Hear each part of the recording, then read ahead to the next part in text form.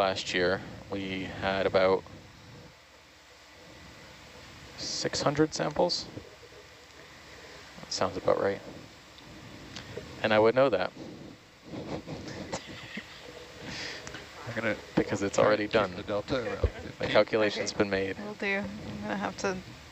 I'll, I'll deal with that. Do we get any unexpected associates uh, on the collected coral samples or sponges What do I coming in through the website? Wondering if we get unexpected associates on some of these samples. Yeah, you know, sometimes we, we see things like amphipods or small shrimp that come up um, with these things. They attach to, they're, they're kind of attached to the coral or attached to the sponge and we pick them out afterwards. So all the time we get, um, yeah, unidentified animals. Um, but that's why we have subsampling protocols to make sure that they're properly attributed to their primary sample. So the top side will not be running on this computer, correct? Should not be. Okay. I can't.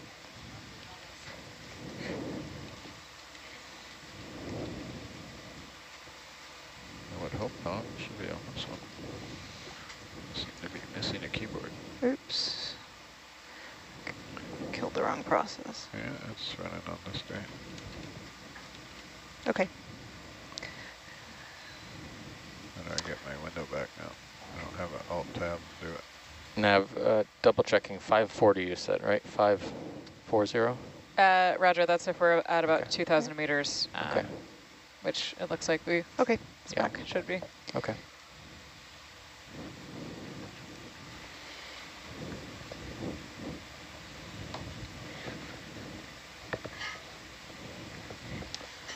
Let's keep going up. Roger. Let me know when uh, RIV is ready to go. And uh, not quite. You want to look at this one or the one in the background, Steve? Uh, the uh, well, uh, not the one in the background maybe preferred, um, but I'm actually thinking of also maybe taking a Niskin in this area. Yeah, Um, can do. We can do a floating one. Don't have to be particularly positioned. Was that a corallid? Uh, yeah, then we have a hemicorallium down there, and then there's a primnoid, um, probably Calyptrophora down there. You're good, as long as you're, as long as that's not in danger, that's not, I don't mind that. Okay. I thought you said 15. eh, yeah, or less. It's- Okay. Well, yeah, don't go by that. Go by that one, that one, and the Okay. view. Trying to keep it slack because the heaves. Yep. Understood. It's hard to judge when to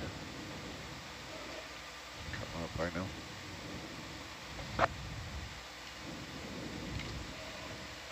It'd probably be more up and down than usual because of the...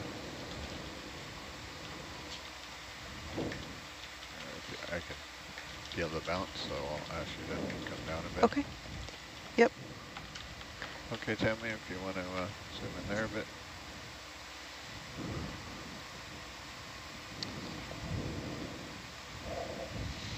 Yeah, so this is a primnoid, possibly Calyptrophora, two brittle star associates.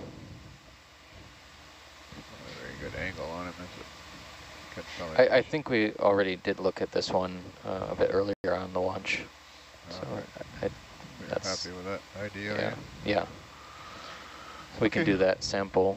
We can do the Niskin if you want. Ready for a Niski? Yeah, this is great. Yeah, right around this area. It's uh, not an extremely high density, but there's a diversity here, and I want to make sure we have a sample from the seafloor before we to pick up off bottom.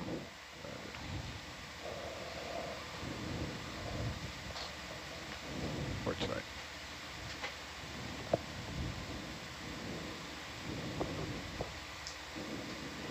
Uh, if you hold the manip right there for a second, Okay. Tim, you want to do a just a quick wrist for me? Yep. Let me know when. Uh, now would be cool. Okay. Going. Thank you. Okay, that's what I needed. Got it. Okay.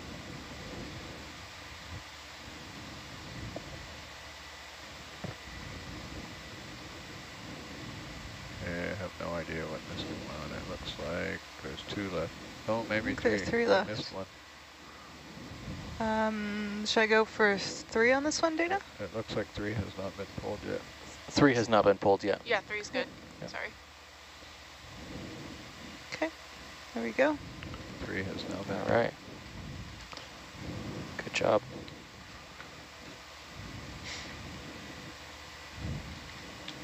On the fly Niskin.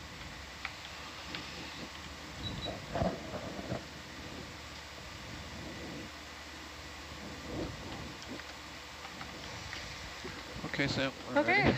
let's do Thank it. you. Bridge nav.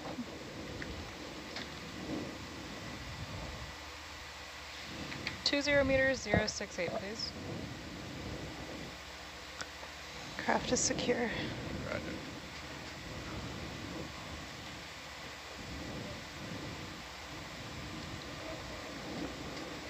Zooming in just a smidge. Thank you.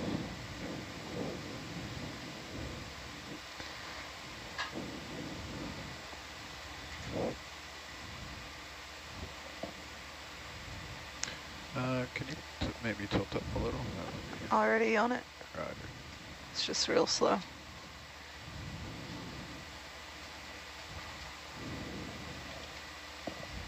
to modify that one with an ROS too.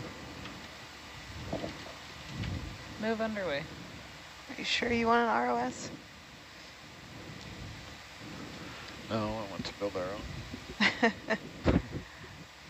I knew it.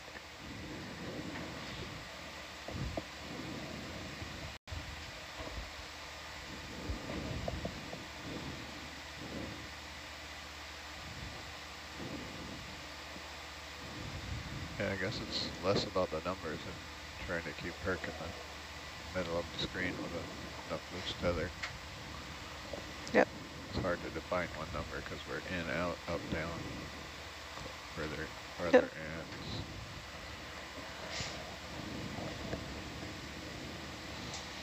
Okay. To not run away so fast. it's a challenge.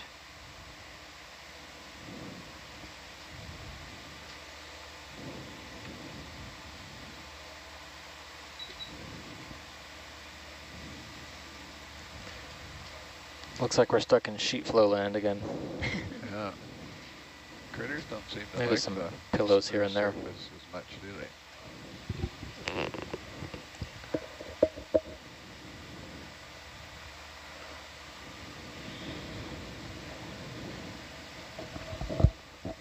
Is it my imagination, Steve, or do they not, uh, there's not as much biology, biology? Yeah, it's it, it might just be a, how the slope's oriented uh, in this area. It seems like a lot of the attached organisms are, are liking the boulders and vertical faces, so get more verts. Looking for verts.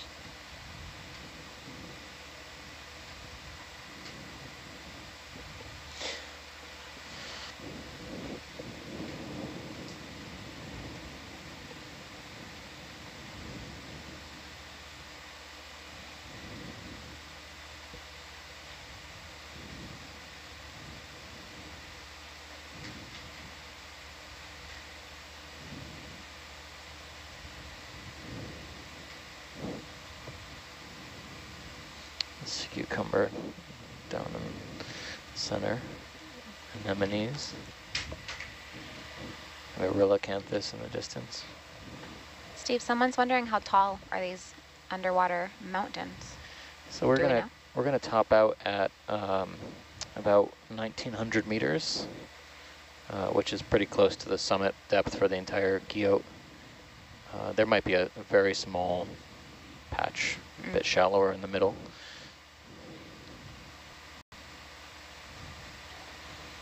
So we're we're pretty much almost there. Uh, I suspect that you know the last 100 meters or so might be really stretched out, so you'd be covering sediment and going up at a very gentle grade. But we- we've covered a pretty good distance. Uh, where we start at 20 or 3166 was on the dive plan. I don't know what the exact depth on bottom was, but we covered a really good distance. Uh, in this Bridge nav. dive. We observed some really, Uh, two zero really interesting 068. turnover, um, kind of in the lower end of the, what do we call the bathyal zone? So the, the bathyal zone is typically from 200 down to uh, 3,000 meters or so. And uh, the, you know, we know a little bit about species distributions and within the bathyal zone and then, you know, the bathyal zone and shallower. Um, but it's not really clear, you know, it's kind of a blurred transition between kind of the more abyssal fauna, you know, 3,000 meters plus, and then that, that bathyal uh, zone assemblage. So this, these are really useful data from a biological perspective about, um, you know, where that transition occurs, you know, which species are most likely to be associated with the deeper depths and uh, which are more intermediate. But we also wanted to sample a number of rocks from uh, greater than 3,000 meters where there was a data gap. Um, not only are the rocks hopefully very useful for uh, the volcanic aging, but also for the crust analysis that's going to be done uh, back on shore.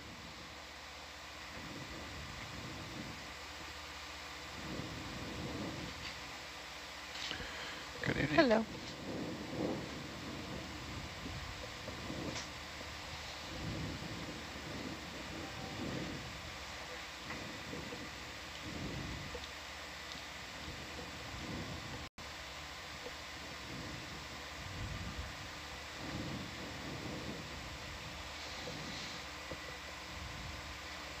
So we're about half an hour now in our last half hour of being on the seafloor before we're going to have to come up. We are still climbing, but expected to level off sometime in the next uh, couple hundred meters maybe, maximum. I had expected this rise to be a bit more um, vertical in places, but it sounds like uh, it's just a steep slope, steep uh, uniform slope.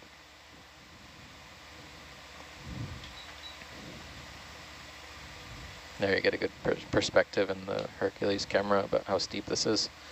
If you Yeah. dropped something down there, it won't be coming back anytime soon.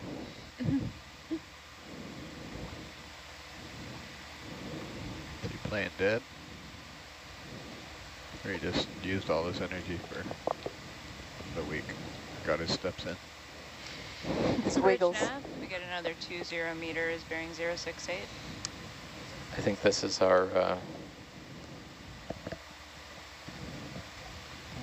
not sure, it's very tough to zoom in on here. Nice shot. It really just wants to be left alone. Yeah, okay. But All right, we'll leave him alone. But I hope we got what we needed there.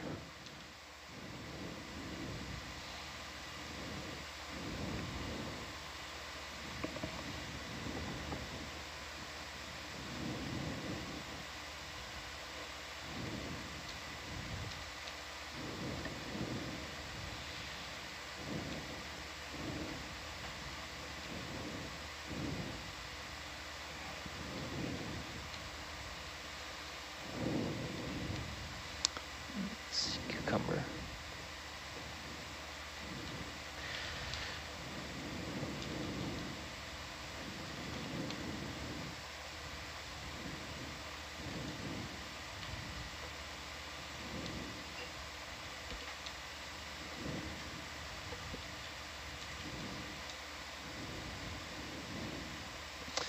Can we do a half zoom in this area?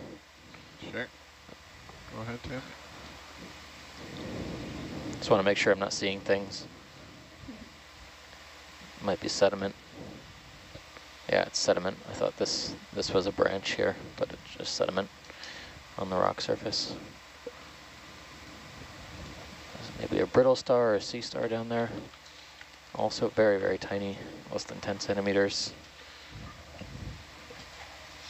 Okay, thanks, all set. Roger.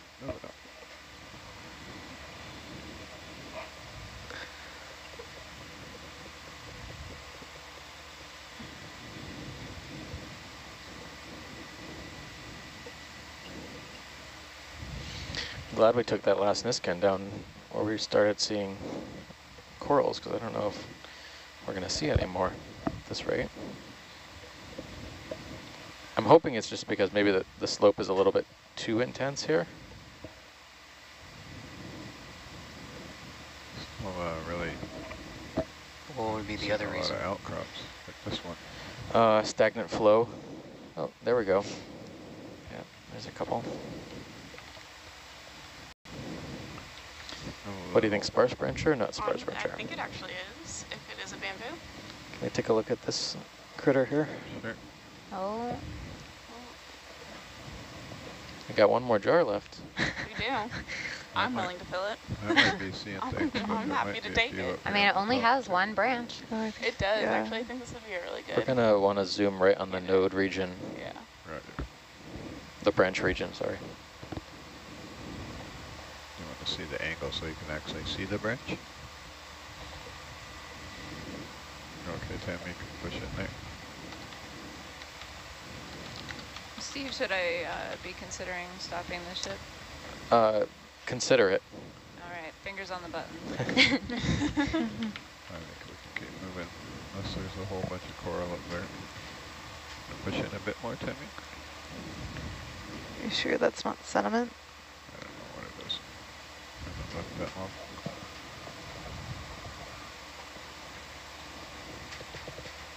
They're staring really hard. What are we looking for? Uh, looking to see where it is actually branching and how close to the node it would be. It's, it's like perfectly blocked by a single polyp here. I know. Um, Come around if you can't see it there. it's got such thick tissue, it's hard to see. So I think I could see a node there. It looks like it's, to me, pretty Then close to to or come up a at the node. Yeah, there Ooh, he it goes. looks just distal. Your call. What do you want? I would love to take a sample. Okay, we're gonna do a We're snip. in. Now you can hit the stop button. Um, bridge nav, hold position. It just pretty much just finish up that move, but You they're still uh, a bit uh, ahead of you. I want to take it back. Bring it back. Yeah, you can put 20 back. Okay. Thanks there. Yeah, no Sorry. worries. No, it's okay. I just can't think in reciprocals. How about two two five zero? I know there should be a reciprocal but so You're not forced to do math. at time. Reverse, reverse. Two three zero. I'm doing it. I'm doing it right now. Roger, thanks. So we, we want to slurp this into jar eight. Uh, it's the last open jar. Probably Wow. need, uh, what, what do you need? Seven. Uh, Or seven, yeah. just like a few centimeters. Any branches? If we could get that, that might be too big. Yeah, branches are hard in the slurp. You never know, it might wedge in. Uh, well, we can, th uh, no, there's a, Well, this is only a black coral. yeah, we can put it in the forward box, actually. Can you cut uh, just below the branch there? Yep. And we're gonna go in the forward bio box, starboard side. Okay. Oh, this would be a good one to get uh, 4K, Tammy. You get some nip out there. Okay, roger. Is this just for ROV or you want them to record Just, that we're recording? just for ROV. It's Okay. A, it's a real good uh, demonstration of the two cameras 90 out. That's what I'm trying to capture. Do you want both? I can hit the wall and the 4K. Um, no, sorry, just the wall. okay.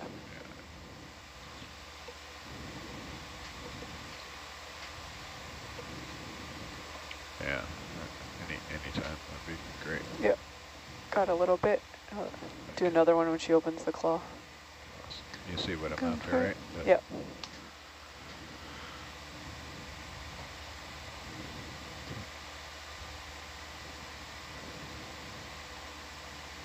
Is that good there? Looks good. Yes. Good All job. right. Nice. Awesome. And this is going in the bio box, right? Yeah, Yeah. Start or forward B. Okay. Make sure I can stick it out there without popping the camera. Okay. I'm halted if you want to. Yeah. Just looking at the wrong camera. Why is that other one camera not moving?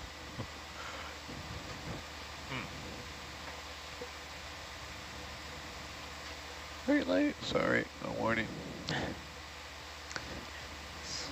It's, uh, Look at this, DSC framed up perfectly. Extend it, get it closer. Oops, I should have spun this guy.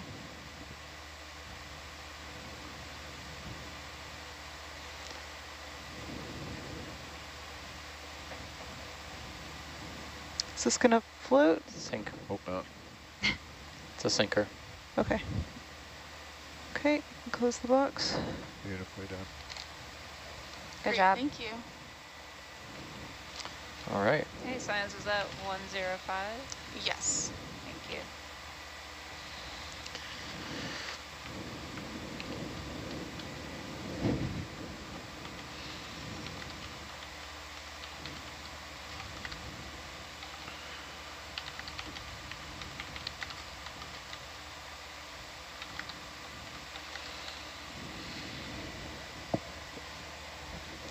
Want the to finish backing up, or you want to hold while you situate? Craft is secure. You can uh, hold position now. Bridge nav, hold position. Thanks.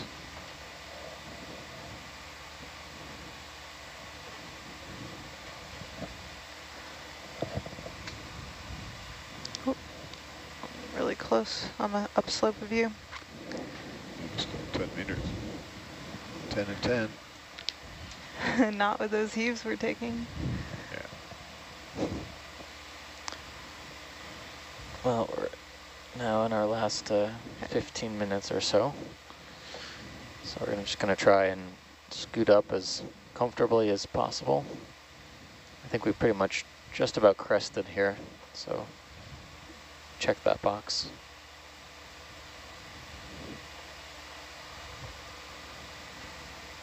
We can move a lot faster if we, or we're not stopping to uh, zoom or. I, yeah, I don't think we're going to be doing any more sampling um, unless there's a spectacular angular rock that is just screaming to be brought to the surface. We have one more box that can go in. Is yeah, there?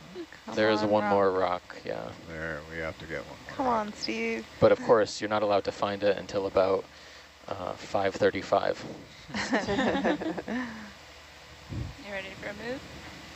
Sure, Or we're going to keep going 068. I think so, yeah.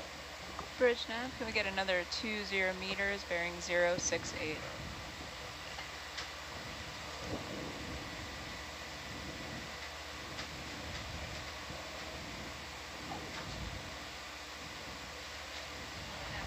Sand waves around.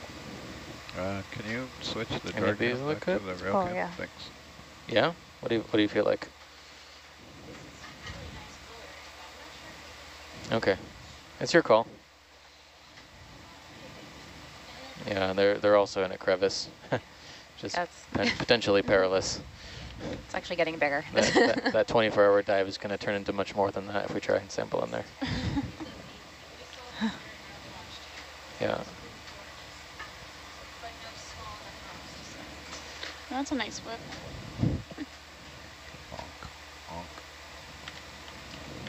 Well, someone's wondering too, how attached are these rocks to the ground? You know, is it a gentle, just kind of push and they come off the ground, or are they mostly pretty stuck? there it's it's pretty solid stuff. Um, you know, the crust is less strong than the underlying rock, but still, uh, it's not going to move without a fight Yep. or a punch. Too punch. strong for the arm. Potential rocks in I don't know. We have a pretty good rock puncher on our watch. Punch Oh. a couple of those. You're going to wedge yourself in there? Sure. I don't know. What do you think? There's any value with these? Uh, I think those are all pretty stuck on. Let's think not so. go for those. We ha well, we have we have quite the eye on this watch. You're on the four to eight now. only for a few minutes. I'm only the dinner relief. Smack 'em. You know, Every time I come up here, It doesn't though. mean you're any less valuable. You can sample all the rocks you want on dinner All right, early. video swapping I feel like a dinner relief is also when I get samples. Um, oh, Ah. Do you guys Okay. want to hold, or are you just going to No, we're good. We're just gonna do He's it. just going for it. We're Hey just now, I said you didn't need to poke the rocks. No, he's going. We're poking. I have an order from my, We're poking. Uh, my pilot. one up above. We're poking. Oh, I had such such Oh. optimism for that one too. No, absolutely not. I'm sorry to Very burst your stuck. bubble and your dreams, but no. No, this geologist says no. It's okay, I got what I wanted anyway. You still got to So, punch a rock. To answer, to answer oh, the viewer but this We gotta- texture is so amazing. We got a card carrying rock puncher here. Hmm.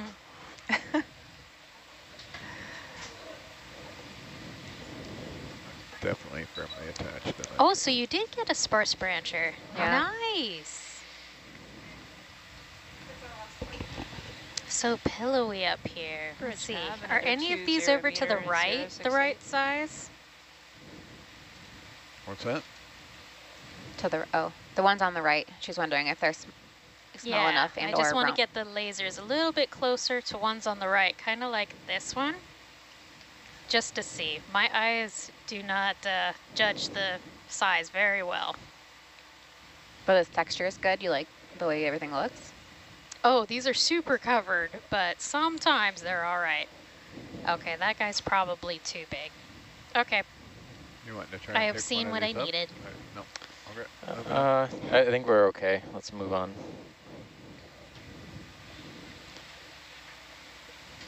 It's starting to level off a little bit. You never know what you'll find up on top. maybe, maybe. Must obtain the summit. Even if we don't find one, just me seeing this texture is something that That's I'll get cool. to put into a report for this. Mhm.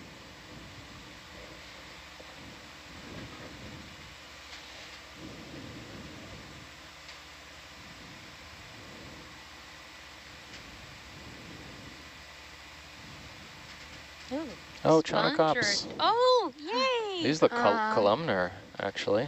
Some of those. Mm, Crust crusted, but maybe no, columnar. No, I'd say we're still don't more know? in the pillowy range. Hello, fish. Like these are little lobate edges. Going to zoom on. All right, I've been oh, overruled. is that another dandelion? Yep.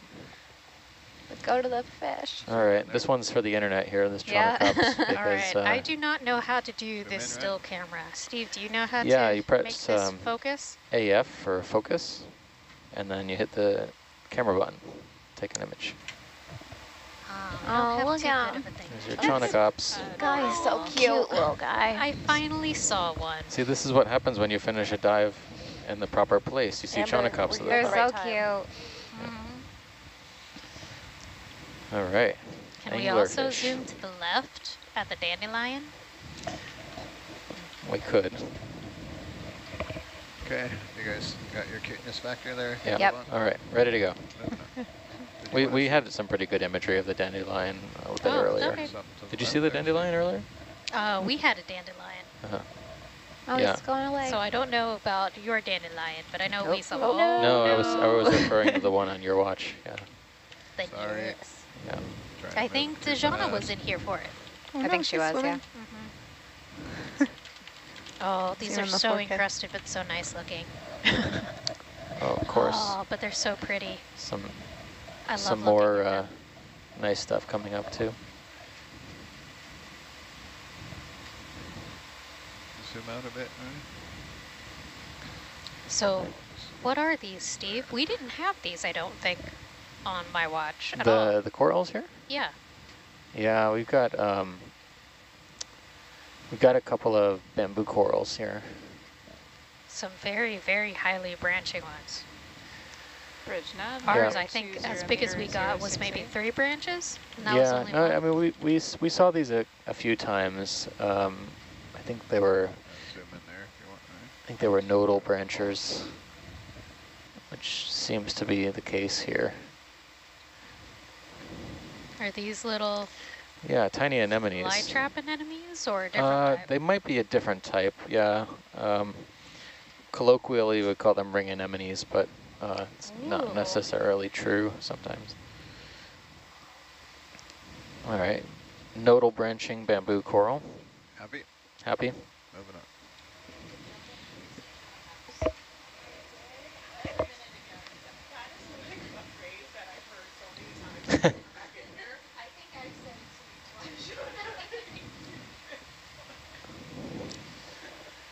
Zoom into us. Yeah, we gotta we gotta have one more Chaunacops before the end.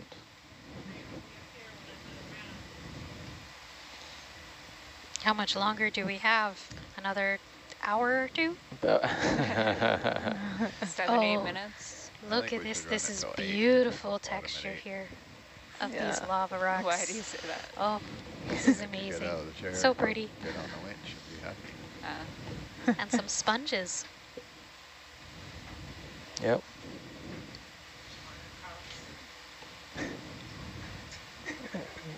What are you gonna do? oh, she's back. Swapping out. All the all the fun stuff happens when you leave the seat. It's because I'm here, Dejana. Yeah. So do the rocks, all the lovely rocks when I come for dinner relief. Mm-hmm. I'm really impressed that this is still as sloped as it is. It's uh, Yeah. the bathy's a little bit off, I know, but I thought it would uh, even out a bit faster than this. But this seems to be the zone. Um, right on the edge of a lot of these seamounts, you do get higher density communities, and we saw some larger fans. Yes, we did. That makes sense. It's more stable here. Currents are still pretty reasonable. But uh, definitely not what I would call a high density community.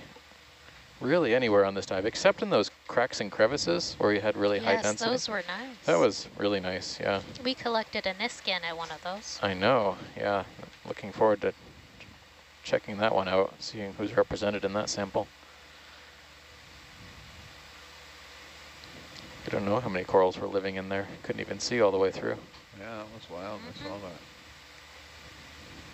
That's unusual, is it?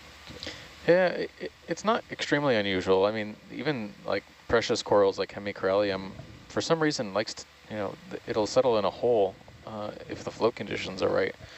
I don't know, just they do weird things. That would be an overhang. Yeah. Hey, um, Just trying to work out the shadow. can you pan right uh, for a second? Uh, sure. Have an overhanging cliff above us. Yeah, okay, so this is this is all sheet flow. I just wanted to make sure it wasn't nodules or something. So, uh, this is our wall here, Steve. Yeah, that'll do it. Yeah, so a lot of these species are similar to ones we saw actually a bit deeper. I don't think we've really transitioned past the that 1900 meters depth. Um, oh, there you go, Iridogorgia. Not well represented on this dive so far, but typical of this kind of assemblage. Uh, Calyptrophora and Narella species. Um, Narella macrocalyx is in here as well as uh, Calyptrophora, maybe Clarkii, and others. A diverse patch right here, huh? Yep, Poliopogon Oh. sponges. Oh, what's that? Is that one of the weird sponges at the top again? Yeah, that, that's one called Poliopogon. It's Okay. a glass sponge, but it's um, we've collected it in this area in the past uh, past cruises. Representative of this depth range. I think we've seen a number of smaller ones um, at this site, which suggests that maybe there's some recruitment going on still. But this definitely looks like it found a spot. It's definitely one of the larger individuals we've seen on the whole dive. Let's have a peek around the corner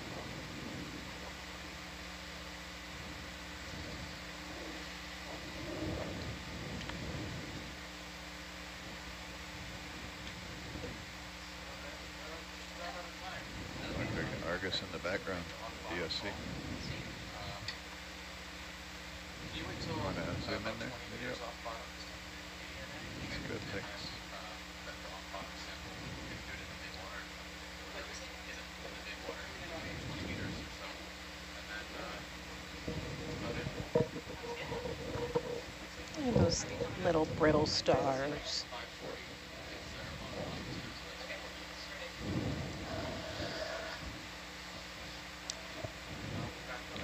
Push in a little more if you want. The sponges come in so many forms and shapes. I wonder what influences their morphology. Because we've seen a couple of them and they all look very different. Right, like this one just looks like it got unrolled, Right. you know? Oh, this is a question I can't answer. how far are we from the surface? Well, if I know how deep we are, I don't have that on one of my screens, but if you go to Nautilus Live, We're about 1,972 meters deep. there you go. Okay, can zoom out, thanks. And also, if you follow along on our website, there is a panel on the far right of our main page on Nautilus Live that says live data, which updates with our depth and current temperature. Hey everyone, this is Megan stepping in for Steve. Hi, Megan, stepping in for Steve. Hi, Megan. Hello. Uh, are we good for another step, Dan? Great. Bridge, nav. Two zero meters, zero six eight. Thanks.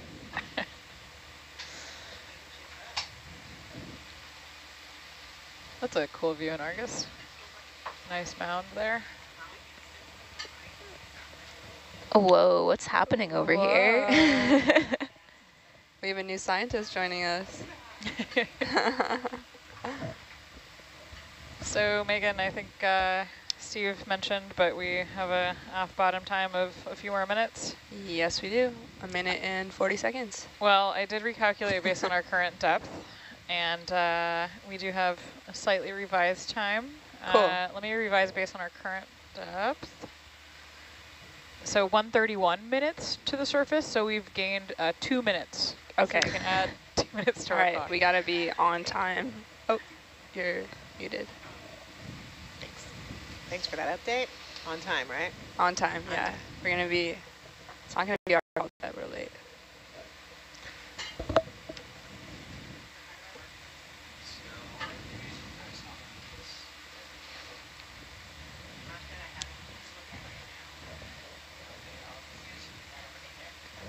Any last minute samples that we're looking for, or are we just? We're just gonna look around and do Yeah. some zooms. We could zoom on this, One more rock. this coral, One this more rock. zoanthids. Um, and then we're gonna do a Niskin when we're up in the water column, about 20 meters off bottom. I like the colors on this guy. Yeah. Wow. Can we get any closer? Can you zoom any more? Nice. Sweet.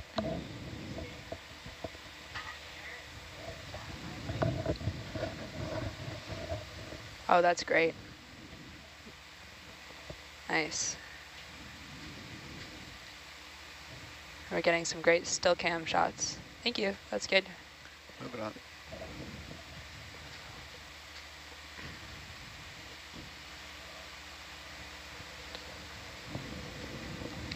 So Megan, you also said you wanted to get one, one more rock. What's that? You also said you wanted to get one more rock. Did I say that? Did you just put that in my mouth? We've become the uh, the rock poking watch. we can always investigate. These look very stuck to the bottom. Yeah. Oh, should be. absolutely. This do would be taking the whole seamount. We do have room. That'd be cool. That would be cool. Just like drag it to the top. That's something that we've discussed on our watch a few times with Amber. Just gonna. Are we at the top? I think so. Not We didn't quite make it. quite I have the top top. 1900 as being the top on the dive plan. It's kind of flat. Yeah, our map for this dive is a bit screwy. We don't, there's been some features on the map that don't fully align with what we're seeing on the seafloor. And It's uh, yeah, But we do look like we've leveled out here a little bit. not a lot. out yeah. There in Argus. Yeah, the Argus view is great. I mean, there's not a lot of returns in Is that an anemone we see there? Where do you see it? Sorry, I wasn't. Video doing a swap. Oh, I think that was a holothurian.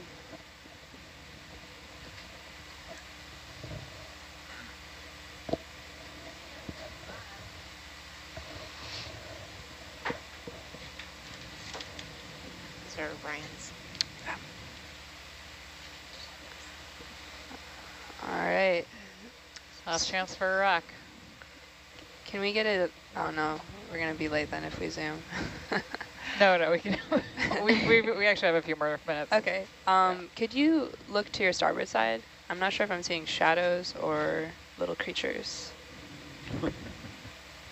what? Yeah. What's? Is this like a little? Oh, oh my gosh. Oh, yeah, I see This it, little I see purple it. guy. Yeah. Little mushroom sponge. Push it a little. Is that a? I hope it's another baby slime star. I think it is. Oh, we've got several Ooh. stocked We've sponges. lot Oh, cool. over here. Nice. And there's an urchin that we can't see in Herc HD, but we can see in the still cam. Yeah. Nice. Great final zoom.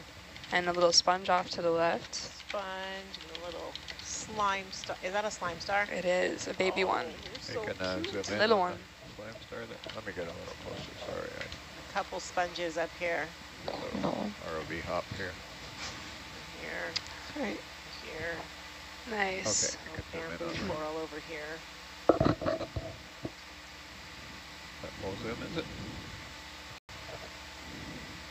Yes. Great. Can we look at those sponges also? Do we have any pennies Yeah. in our zoom bank? No, you want to zoom out? I'll get closer. I'm miles away, sorry.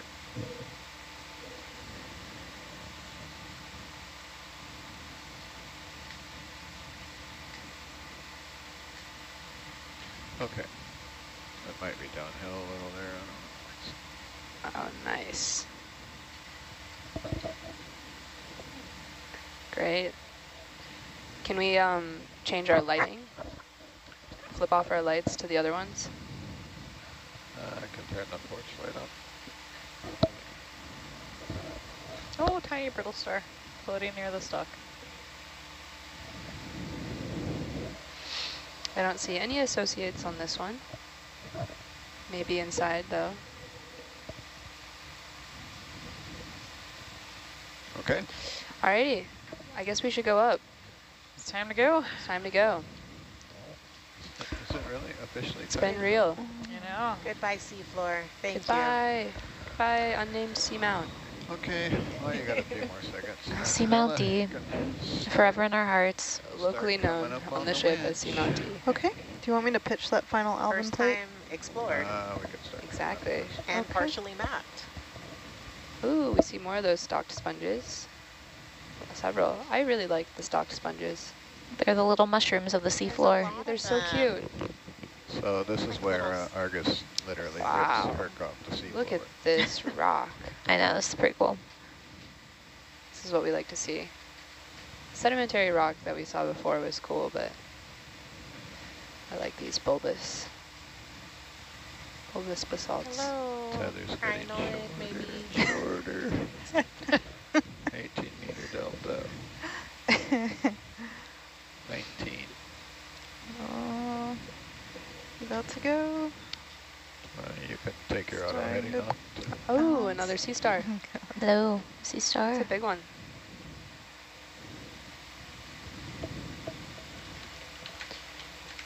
No, Herc is pulling Argus. Goodbye. And ripples are very satisfying. Yeah, the ripples on this seamount have been so interesting. They've been Hurts now going so many different directions, colliding.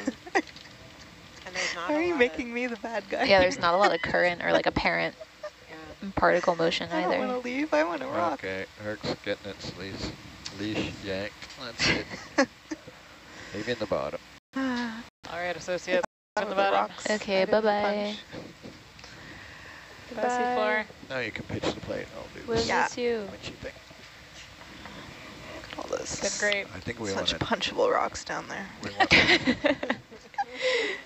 We wanted, uh, rumor was we wanted a Niskin at some altitude. Yeah, 20 Yeah. meters. 20 meters off bottom. Roger. Uh, should I wait to pitch the plate until Nope, we've done you can Okay. pitch it, Niskin. You got uh, eight meters to pitch the plate. so what is our time, estimated can see time the plate. uh, topside? Oh, would help 2000 topside sticking out there. There it is. I didn't hear it. Oh, uh, 8 o'clock. 8. Exactly.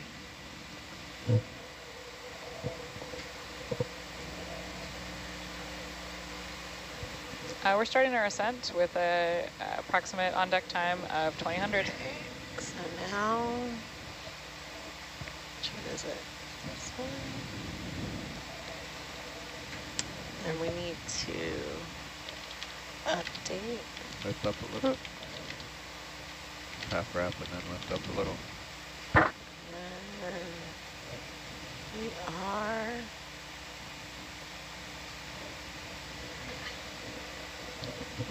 Right. Where- We are Oh. um, leaving Holding altitude at 21 meters for the, the, what is it called? We have completed our dive. last two uh, orange or green. I'm gonna go for Niskin. Um, five and six are still open. Five is orange? No, five is green. Yeah. Yeah, five's green. Sorry. I think Six four is is white. orange. Six is impossible. Or you can just say vehicles ascending. Oops. So close. Nice. And then the Got other it. one. Boom. Yep. Got it. Pop. Nice. Sweet. Excellent. 105, Central right, Rebecca? Pacific. And then we've completed That is 106. Um, so they oh, collected some completed samples while we were at dinner. Roger, our thanks. transect and our ascending. Yeah, the dive's not complete until we're at top. So we've completed our underwater transect.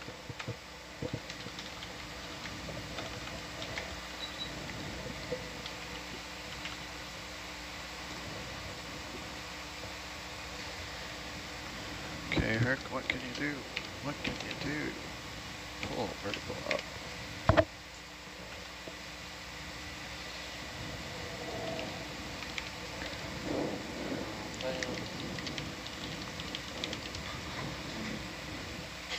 Eleven meters.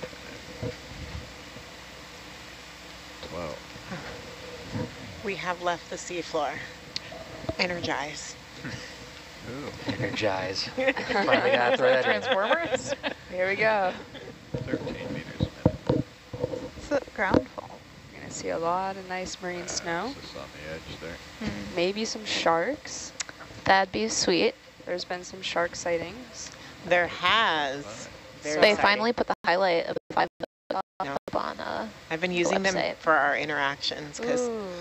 very People love nice. elementary students love sharks. Yeah. Me too. Same, yeah. so adults love sharks. I love sharks. People love sharks. People love sharks. uh, At some point, we might see some siphonophores. Yeah, maybe siphonophores. Yeah. Maybe jellies. Maybe squid. Maybe, maybe some marine snow. Come up a little faster Maybe some here. tiny oh, fish. always some marine snow. All right, Steve is back. I'm out. Have a nice Bye, blue water. Thanks, Megan. Bye.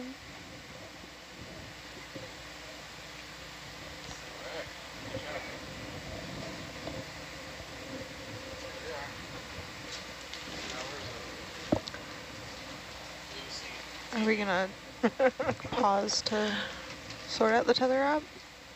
Uh, no, I'll just Do you want to take? Yeah. Oh. Argus up above her and we'll pick it up. Oh, okay. You're uh, zooming pretty fast there. An hour and a half of Blue Sea TV. Blue Sea TV, Um, my uh, favorite programming. Lift an Argus up above her so I can take a turn out of my tether. Roger, okay. This will not be our maintain speed. They're ready for the next dive. Like, all right, great. Where, where are we going next? Oh, I see. Herc's vertical velocity. I see, you got it. Okay, thanks.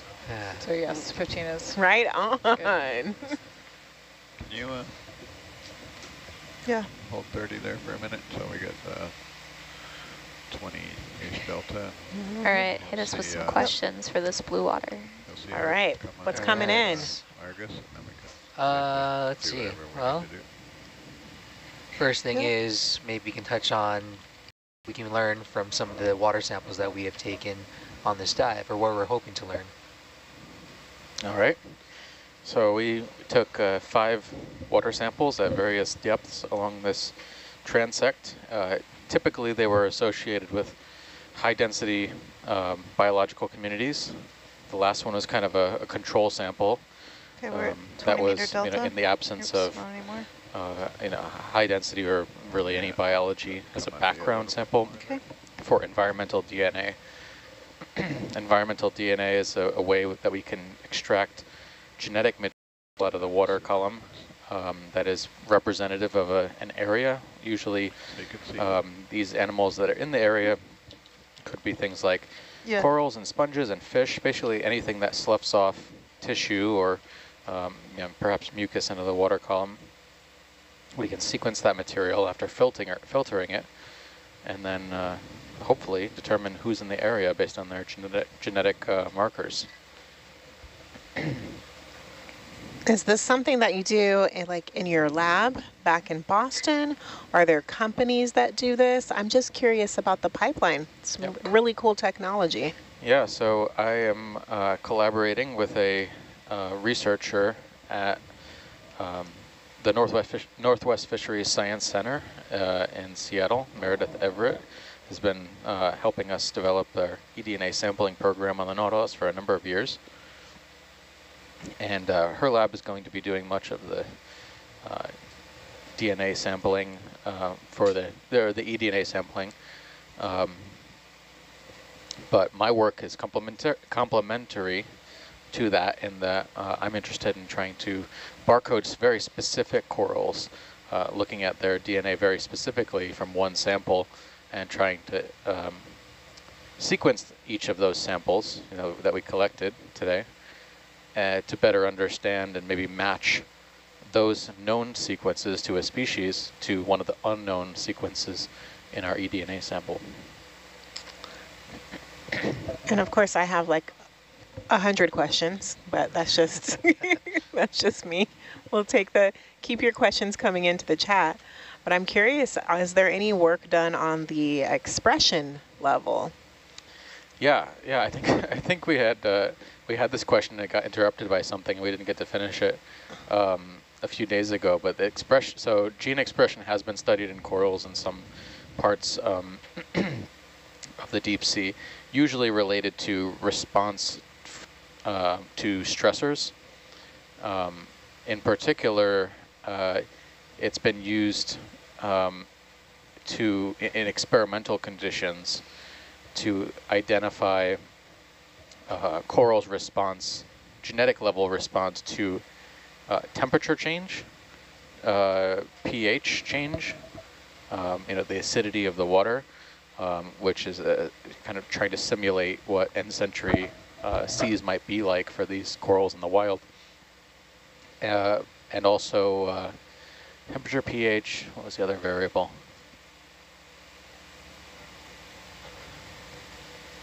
Oxygen, changes in oxygen, yeah. That's cur- do you know where that work's coming out of? I just Yep, that uh, some of it is uh, was done under a researcher named Alexis Alexis Weinnig's uh, dissertation research at the Cordes Lab at Temple, Uni Temple University. Um, but uh, there's also been some other work that's been done that I'm familiar with on um, octocorals uh, and their response um, to uh, stressors like uh, environmental contaminants like oil and um, dispersant chemicals uh, that uh, happened off after the Deepwater Horizon oil spill in 2010. And that research also came out of the Cordes lab by a um, researcher named uh, Dr. Danielle DeLeo, uh, who I believe is at Haverford College right now. cool. So it's just really interesting. Steve's going to be working at looking at diversity on the DNA level. But also another interesting question. So DNA is like, who are you? an interesting question is like, what's actually being turned on or what what proteins are being made under different types of conditions. That's another really interesting thing to look at, especially with my background as a marine animal physiologist looking at molecular physiology. Yep. Uh, that excites me. Yeah, it, it, it's very interesting. It, it's also very hard. Uh, you know, we're, we're not really working with full genomes of a lot of these animals, so we, um, you know, only know what certain, uh, you know, genes turning on or off or certain proteins being created might do because they've been observed in other animal systems. Um, but we don't have any what, what are called like model animal systems to really say, you know, okay, this is exactly what this does in this coral in this coral colony when it's uh, uh, subject to these conditions. So um, it's uh, if if anyone out there has been doing science and not worked with a, uh, a model system like fruit flies or something like that, uh, I'm sure you can commiserate. Additional. Flies, nematodes. Yeah. these are models. Of Even sea urchins mice, now. Sea yeah. urchins, where you have the whole genome is you know basically mapped. You know exactly what each gene does, uh, you know, in a certain time of its life. Um, these non-model systems, like deep water corals, you have to just draw some some similarities, some connections to whatever the closest animal um, that's been studied is.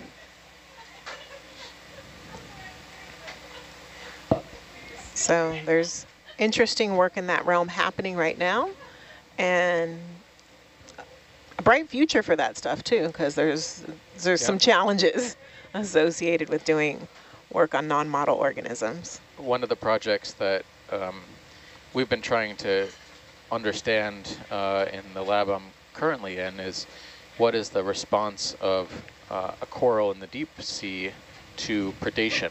You know, if it's actively being consumed or eaten, um, you know, does it have certain genes uh, that will turn on to compensate for, you know, say tissue loss um, or, you know, something like that? Uh, that work is ongoing. We're still trying to get samples for that kind of work. Um, but I think we've made a little bit of progress on some of the samples we've collected so far for that. But the, for a lot for a lot of those very specific questions, we need to have very specific methods uh, and preservations of the animal in a certain state and with, a certain chemical. So it basically freezes it in time. Um, otherwise, if it undergoes stress due to changes in yeah, mm -hmm. the environment, um, it could confound our results. That's an that's an interesting uh, technology development. Is can can we freeze things at depth for collection? Yeah. Well, so we we've I've used certain uh, collection techniques before. Um, we we most commonly use a chemical called RNA later. Um, usually, kind of freezes um, these processes uh, of these animals but we've actually been able to immerse them at depth. So basically take them from the environment, put them in the preservative at depth, and effectively freeze them at a, at a molecular level. Um, only because RNA later is an extremely saline uh, solution. So when you take, say, a quiver off of a bottle of RNA later in the deep sea, it will stay. It doesn't go anywhere. Seawater, so it will stay uh, in the cup and then you just put the sample in, put the quiver back on. They were just starting to talk about doing things like that um, 15 years ago. Yep. Now that's a thing. That's awesome. That's a thing. Used it last year. That's awesome. Yeah. You can also homebrew RNA later now. What? Yeah, you didn't know that? No. Yeah, you, they, they, there's a recipe, cracked recipe out there. Nice. Some, uh, you can brew it's it like, up yourself. It's like open source now. Have you done that? Uh, I have not personally made it, but I know that we have a we had a team of undergraduates who are very um, eager to do that kind of work. It's very tedious because you have to RNA later is a very specific pH, and it needs a very specific amount of salt. Um, and you have to titrate it to get it to the right pH so it preserves. Oh, I'm just going to buy mine. it's extremely expensive. It's like $500 a bottle. So not as easy as homebrewing beers, what you're saying? Yeah, no, not quite. Definitely not as fun either words, uh, afterwards either. Um, yeah, but freezing something at depth usually is the, that would be the gold standard, I suppose. Um, but it, it's strange, you know, even though we preserve something like that, it's very good at preserving, you know, RNA and, you know, molecular products in the animal. Um, RNA is awful if you're trying to do any morphological work um, because corals are, uh, uh, calcium carbonate, and RNA later is acidic. So it just, Yeah. So if you ever put chalk, uh, acid on chalk, you know, you Just that's just- a that's a fun Just- experiment right yeah. there. So you need to collect animals uh, like we collect them also, so we can study their morphology. Interesting. So this one I have to ask because I'm a little curious too. In Little Mermaid, the poor unfortunate souls that Ursula turns the people to, the mer people to, are those tunicates? I, d- I don't know. I, I'm gonna I'm gonna admit something Okay. super embarrassing. Go for it. Um, I have not seen The Little Mermaid until last year, and even then, I don't really have any recollection of what it was, the specifics about parts of the story. It was not one of the movies that I grew up with. Crazy. Yeah. So don't listen to music. Yeah, Just saw Little I Mermaid. know. I know. It's uh, a little weird in my house. I mean, okay, so Little Mermaid came out in '89, right? Uh, so I don't know. I, my my my Disney uh, frame of reference is you know mid to late '90s, uh, which is you know I, I suppose it was uh, you know that movie was still around, but definitely was dominated by things like Lion King and Toy Story. That was my Okay. um, yeah, so Little Mermaid would be my generation then. And Aladdin. Oh, I remember that one. Yeah. Mhm. That was probably the earliest movie I remember.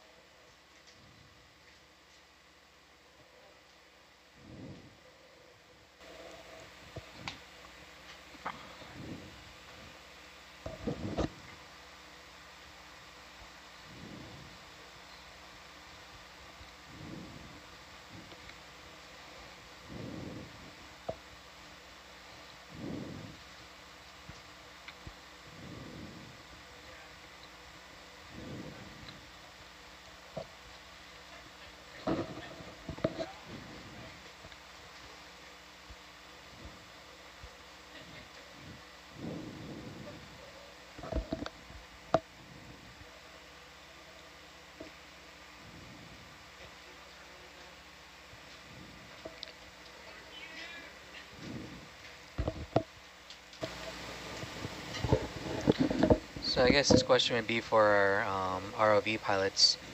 What, how many hours of uh, time do you need behind the stick in order to qualify, in order to, you know, pilot the subs, and what kind of training uh, is required in order to do it?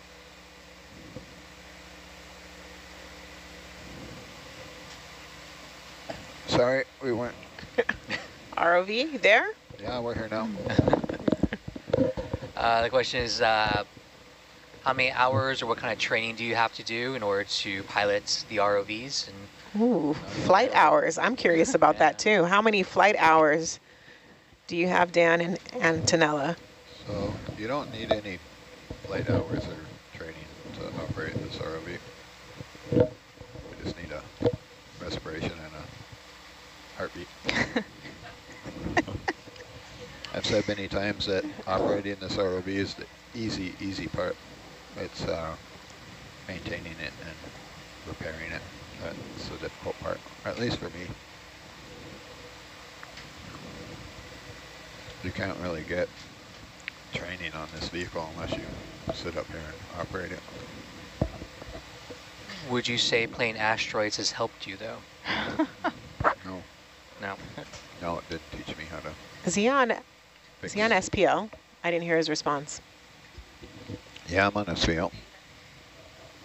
No, video games. Can you hear me now? Yes, we Yeah, can hear we you. can hear you. Yeah, video games that didn't help me in the least in this career. It's um, I have a technical background and also a practical background. I grew up turning wrenches wrenches, fixing cars, taking things apart. I started, uh, as soon as I could reach the doorknobs in the house, I took them all apart, figured out how they worked, and was putting them back together when my mom caught me. And just stuff like that. So I still like to take things apart, figure out how they work. The um, the operational experiences for piloting the ROV didn't come easy for me. It took many hours of uh, getting kicked out of the pilot's chair. A lot of um, watching other more experienced pilots, watching how they operate, and um, trying to emulate their their uh, operational techniques. Same with uh, operating the manipulator. And uh, repairing it, there's some techniques there, but we are uh, PDF manual junkies, in the old days uh, paper manual junkies, so my very first job offshore, I made the mistake of telling my supervisor I was bored. And he said, you're bored, really? And in the control van back then, we had uh, paper manuals, so there was a shelf probably two or three meters long, just stuffed full of paper manuals. And he said, uh, pick one of those books and look for all the greasy pages with uh, holes torn out of the three-ring binder. And he also handed me a box of uh, those little things you stick on when you have a torn out uh, sheet out of a three-ring binder. My job was to fix all the torn out ones. and uh, then he would quiz me every day when I came back on shift. And I basically had read all the manuals in the van on the system and was not bored for weeks. and a lot of it I didn't understand at the time, and it was kind of, it's hard to read technical stuff when you you don't get your hands on it, get greasy or oily or shock yourself. Uh, but when it did come time to work on that kind of stuff, I had, at the very least, I knew where to look in those manuals to find it, to get more information, but I had some clue of what things look like, so I would know like what tools they're going to need or what maybe test equipment. I certainly knew what manual to go get them. So a lot of it was, uh, for me anyways, was on, on, the job training. But most of the uh, kids we have out here, like Antonella has an engineering background, Jake has an engineering background. Mm -hmm. uh, both the other uh, Herc pilots, Robert and Trevor, one's a electrical engineer, one's a mechanical engineer. So they didn't go to school or play video games to learn how to to operate the vehicle. They learned sitting right here. It's good to know. Yeah. What's your take on it? Yeah, I agree. I mean, even though we're called pilots and that's sort of the thing that people, you know, see us do, I'd say 95% of the job is actually doing work on the vehicles and that's, you know, involves whatever systems the vehicles need repairs on. So hydraulics, electronics, camera systems, um, AC and DC electrical systems, like it's kind of learning on the job for operations and for maintenance, but having a technical background really helps, having some foundational knowledge of the physics, the engineering, um, everything that goes into it. And like Dan said, like reading the manuals and figuring out how to how to do it. So yeah, I definitely agree with agree with that. For example, we have a long list of uh, punch list items from this uh, from this cruise. Uh, as soon as this thing hits the deck, we'll be we have to change the uh, hydraulic power unit pump, which is uh, a hydraulic background. We have to get into uh, two of the one atmosphere bottles, want to repair Argus's electrical thruster, so that involves high voltage and control electronics. And uh, we have a issue with the Kraft arm where we hot wired it, so we'll have to get into another one atmosphere bottle to rectify that. Probably do some software modifications. Mhm. to uh, change the way it turns itself on. Uh, possibly some electronics to uh, build some new hardware. And then we have to seal those bottles back up in a fashion where they don't flood. So we have to be uh, make sure the O-rings are all clean. And we have to pull a vacuum test on them and then backfill them with nitrogen, which involves uh, yeah pressure, vacuum, and kind of. We actually have the same um, vacuum pressure pump that science has in the lab that we use for that. And those are three of the probably the top of the top of the punch list items. So we'll be busy from the time this thing hits the deck till the next batch of scientists is here and we're on location again to Yep. dive. We have more more stuff to do than we can possibly get done. Yep. So while you're all partying, we'll be we won't be. no. Not joining the science party.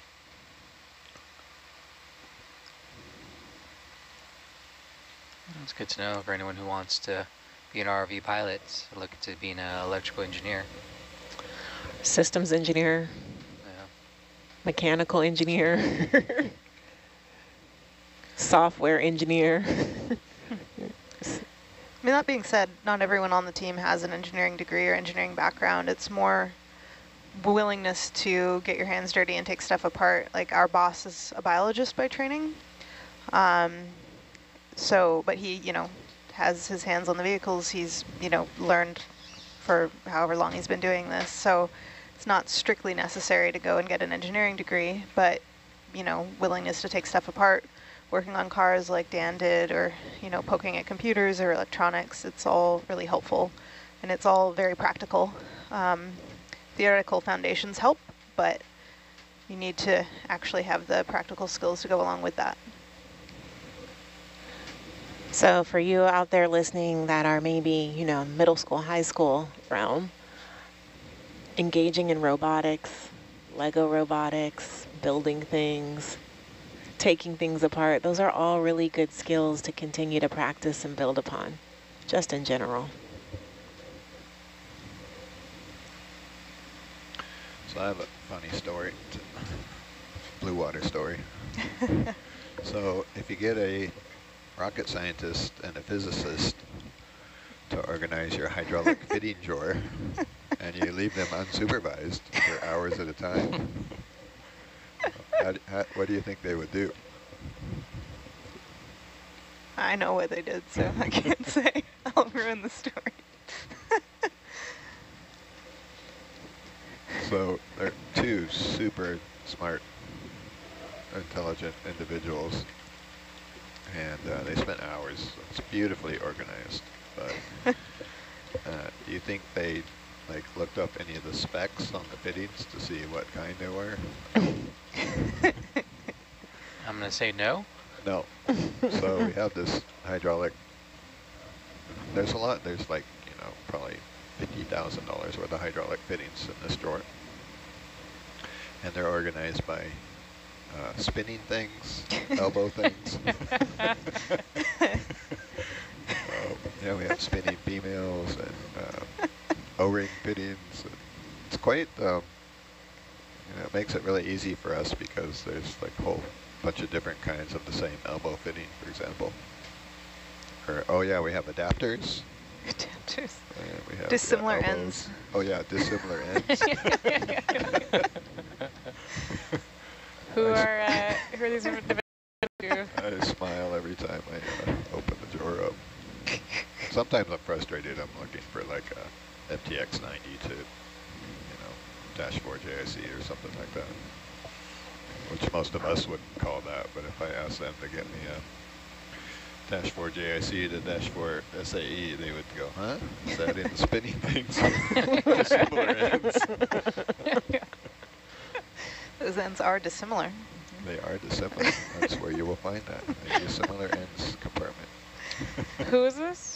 Who's responsible for this delay? Oh, this was a couple of the kids we had out here, a couple of the interns. Very well educated interns. Recently? Uh, that's been a couple of years I'm ago. trying to now. guess. Been Okay. this way a while. They've both been back since. Uh, Ah. They've both come uh, just light years from you know, simple things like how to put a grease gun in a cartridge and, you know, replace the cartridge in a grease gun so we can grease the winch or um, you know, fill up the uh, compensation high, highly technical bug sprayer we have uh, with the right kind of oil without introducing a bunch of contaminants to um, to operating the vehicles, both of them. Have, uh, so they've learned how to do all the maintenance and the turnarounds and uh, operations as well. That's kind of cool. Everybody starts somewhere. But they'll have one thing that I will never have, uh, no matter how much experience I have out here. They have that education that they started with, right?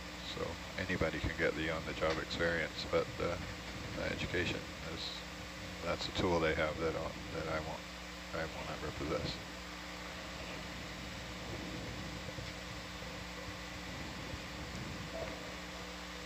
I think it's pretty cool that, you know, different paths kind of lead to sort of the same careers in, in a sense. Looks like we're coming up uh, averaging 17 to 20 meters a minute. Is that what you're seeing? Yeah. We need to revise our uh, surface time. Can we go? Can we go back down and reclaim that time a little bit? Are you planning on slowing down? We'll probably have Move to slow rock. down as we um, come up. We've Okay. had some we've had some issues with Yeah. our uh, motor getting hot and uh, the reservoir getting too full.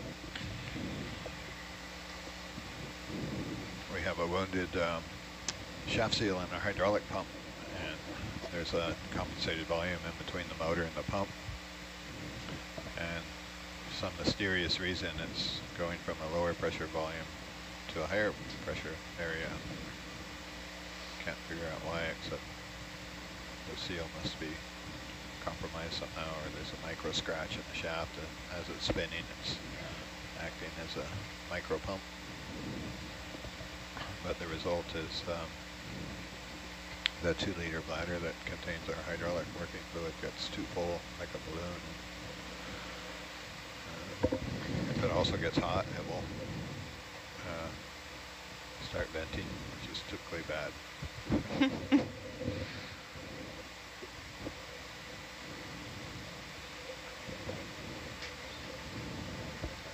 Yeah, I'm surprised we're, I didn't expect that. I should have gotten another rock.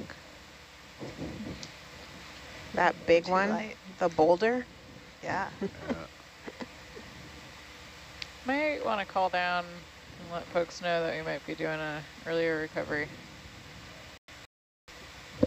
630, 640. Unless Yeah. you want to slow down in the water column more. 6.30. 7.30. Sorry, 730. I was like, that's really soon. Yeah. We really are traveling at warp Sorry. speed here, people. 730 or 740. We'll slow down when I get a little shallow. Okay.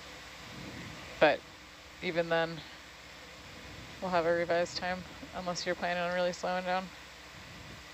Well, no, that's about right, Sam. So if we're on the surface, it That's true. Uh, 730, 740, then we're on deck by 8. That's a good point. Especially since we've been streaming ahead. It's taking a little more time. yeah. Yeah, it takes what, ten minutes to get by the time Hurt comes around.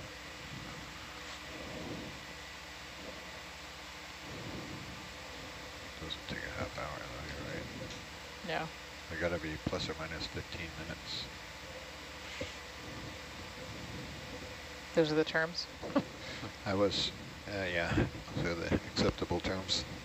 If Then- you're on the surface at quarter till, you can be on deck at eight. So we're, We're going to be a little early. It's also important that the samples don't sit around on the surface or 50 meters. So yeah, if they can, if we can do anything to either slow it down or we're, uh, yeah, we can certainly slow it down. We're less than half an hour early at the moment. Anyway, So let's see. Front row, I don't know if you introduced yourself and shared your musical genre. I'm pretty far ahead of you. Yes, we all did. We did? Yep. Oh. Uh, I don't think we did. Maybe the you two didn't. I think we stopped at you, Tammy. I don't think Dan, Antonella, or Samantha did. Maybe? I, I can't remember. It was just four, remember either. just four hours ago. Four. It was probably like an hour and a half ago. Really? That's it? Oh my gosh. Oh, it was this watch? How long have we been last in blue water? It, it wasn't last night. No. This morning? Oh, What kind of Uh, music do you like, Samantha? Uh, I I like a lot of music. Um, I have a record player at home, which I don't get to use very much because I'm never there. Um, uh, big fan of Motown and soul. Um, on this cruise, I've been listening to a lot of Nathaniel Rateliff, which is more on the folk Americana side. Very nice. Um, also really like La Dame Blanche, who's a Cuban hip hop artist who saw live once and she wore a cape on stage and it was fantastic. um, was I supposed to introduce myself? yeah, yeah, yeah. Samantha Wishnak, Navigator. the 4 to 8. Also like music. Dan. So my favorite band changes every at least five years. So lately, um, yeah, but one that doesn't change that uh, Tammy's husband is into. I listen. I like Tool a lot. I feel like that's like a prerequisite of a lot of the ROV pilots. I've heard that from numerous. Definitely a lot of math and engineering that goes into their stuff. Did not know that. Tool. I've never heard of Tool before in my life. Uh, the Just first throwing that out there. I'm first Googling concert I took my kid to was a Tool concert. Wow. And the only problem is you have to like wait 10 years for the next album.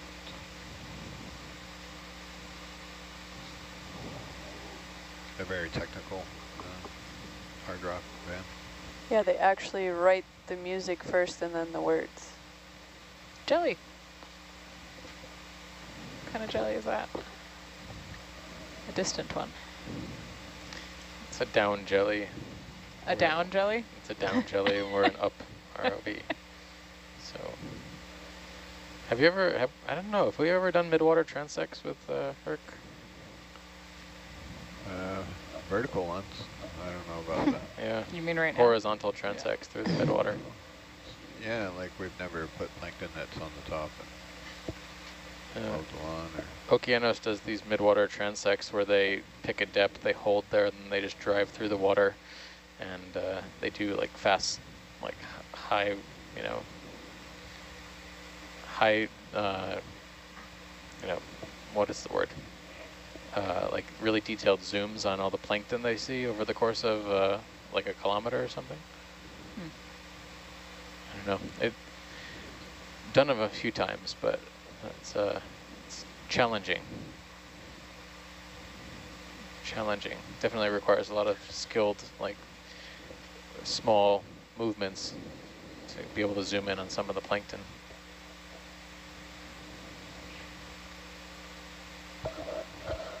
To do uh, plankton tows for scientists called Anna Metaxas. She's uh, East Coast, uh, Canada somewhere, university. Put these big giant nets on top of the ROV. They're like, uh, they look like a windsock. And then they terminate in it into a, like a peanut butter sized jar, what you're typically buy your peanut butter in.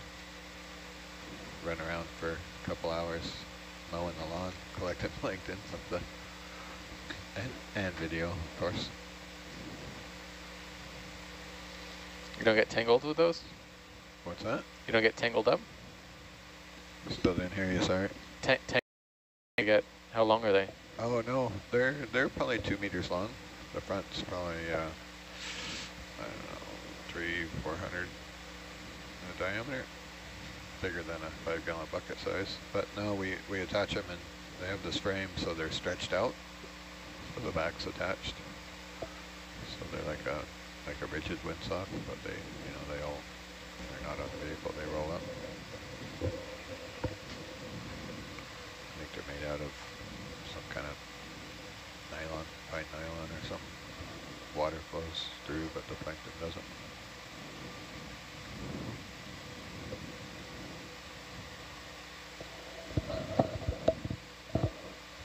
And she spends hours under looking at stuff on it with a microscope. It looks to me like a jar full of goo. it comes up.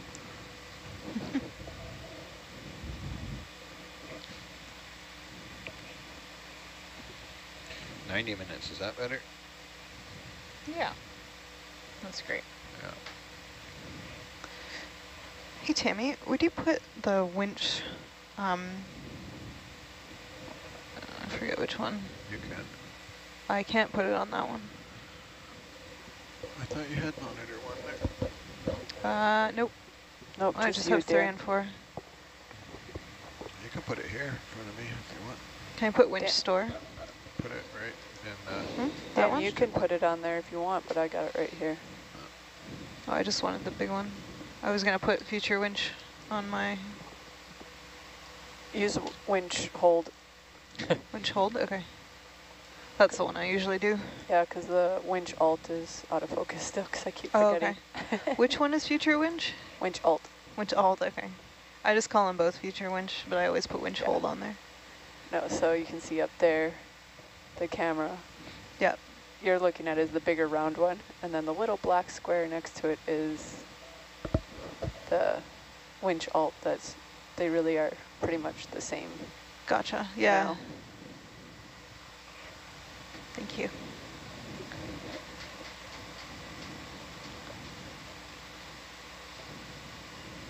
Axis, ca Axis cameras in a really nice housing.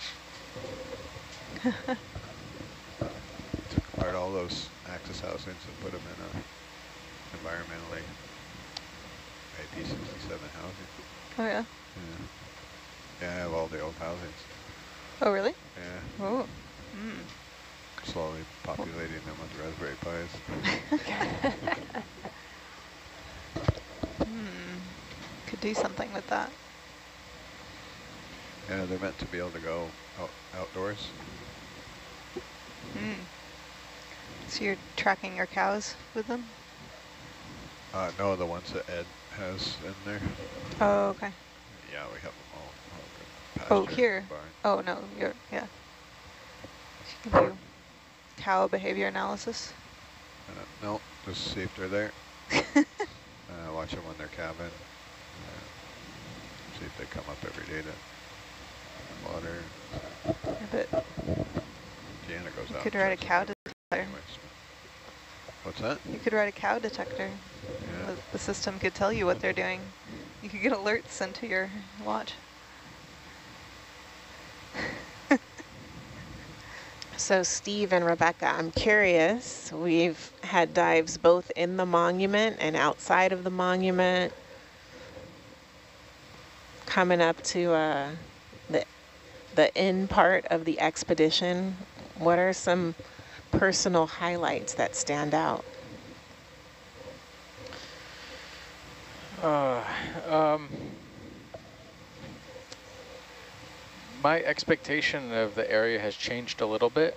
Uh, you know, in 2019, we did three dives here that were um, really kind of uh, really exploratory. We didn't didn't have any expectations of what we were going to find. I thought that densities were quite low. I think that remains the same at most of the sites we saw. You know, biodiversity was you know expected or you know moderate to high, but density of animals was much lower than I expected.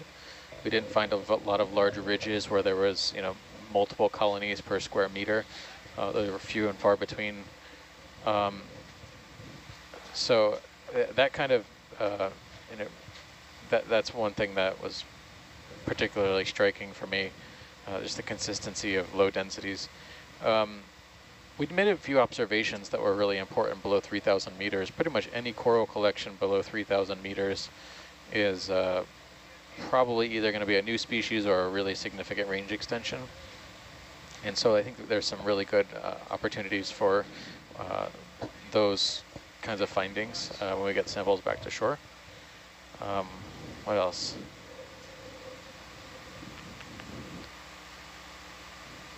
Yeah, I, I mean, I would say two more things.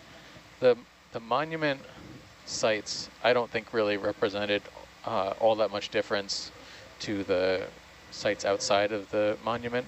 So there's quite a bit of similarity in both the coral species we find and the densities, um, minus the fact that uh, Kingman, uh, Kingman Reef and Palmyra are much shallower, so you get different species within the monument uh, that you might get outside on the seamounts, which are typically a bit deeper, uh, the, the, summits of them at least. Um,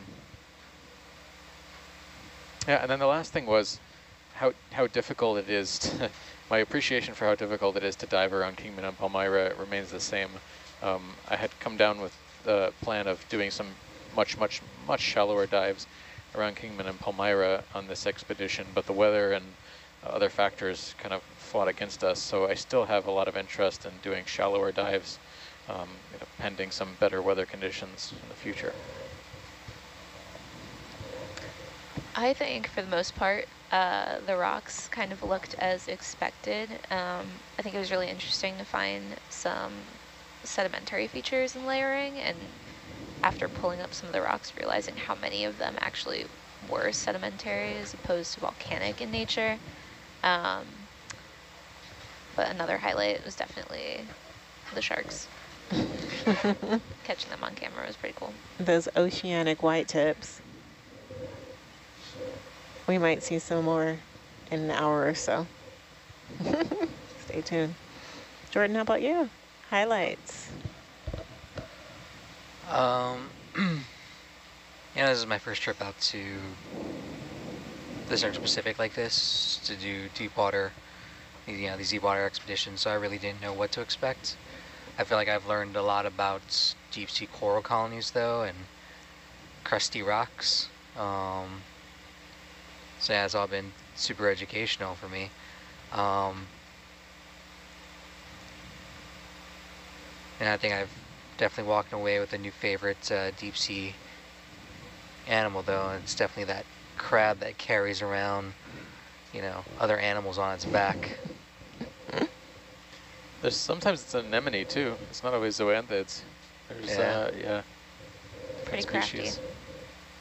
So that yeah, that was pretty impressive. I'm like, all right, nice. Um, for me, I think uh, the highlight of my experience with this expedition is the power of telepresence. And although I'm surrounded by an amazing team of ocean explorers on board, the technological ability to bring everybody along with us so, and ask the questions that come in my head, the questions from the schools that we interact with, and the questions from the audience. It really felt like we were all exploring together. And that was a quite powerful experience so far. So I'm, I'm leaving with a newfound respect for exploration that includes everyone.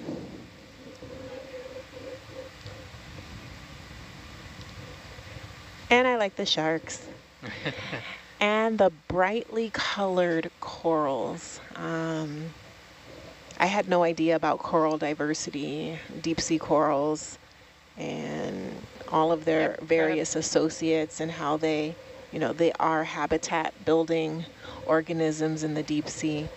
And so that's been really eye-opening and I want to continue to follow Steve's work especially when it comes to, you know, mapping out who's out there. yeah. How are they related? How are they connected? Who's new? Really who belongs simple here? questions. Yeah, yeah, we still don't know. Yeah, Steve, we're going to be uh, pen pals after this. Absolutely, yeah. That's one thing I can do for a while is chat about corals. We all have our talents.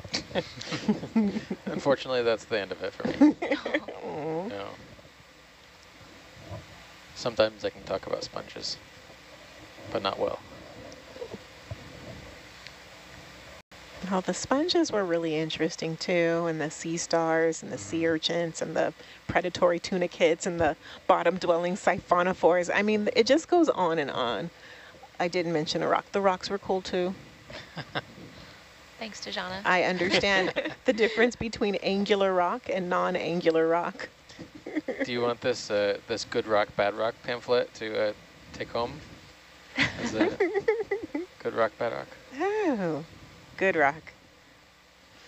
So when you're out, next time you're out for a hike, I can I can determine. consult your good rock, bad rock. Uh, We can sort them. What is this uh, brochure? See, but We it's have so a, uh, different on land. You can see here um, for our viewers right there, there is a good rock, bad rock pamphlet here that um, I definitely want to see this. helps uh,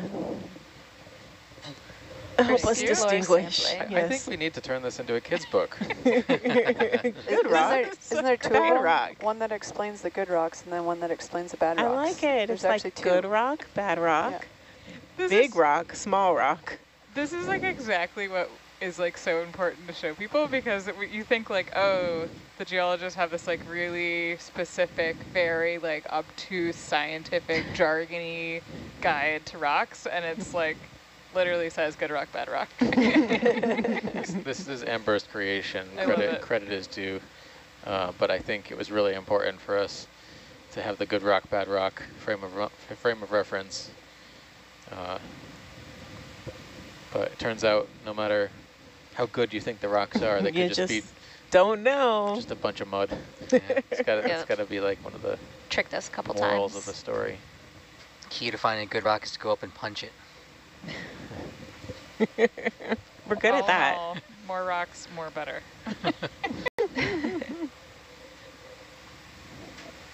wow, this is great.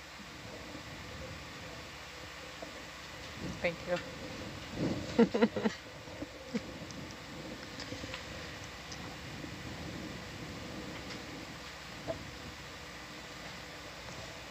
All we did, we saw a lot of crusts. So she's right. They are hard to locate.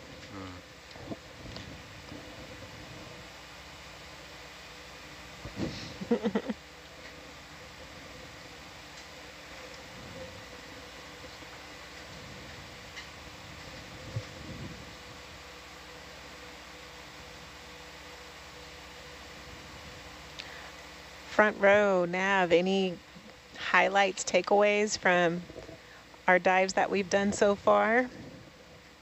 I really liked uh, our rock hunt. That's actually why that good rock, bad rock guide made me so happy.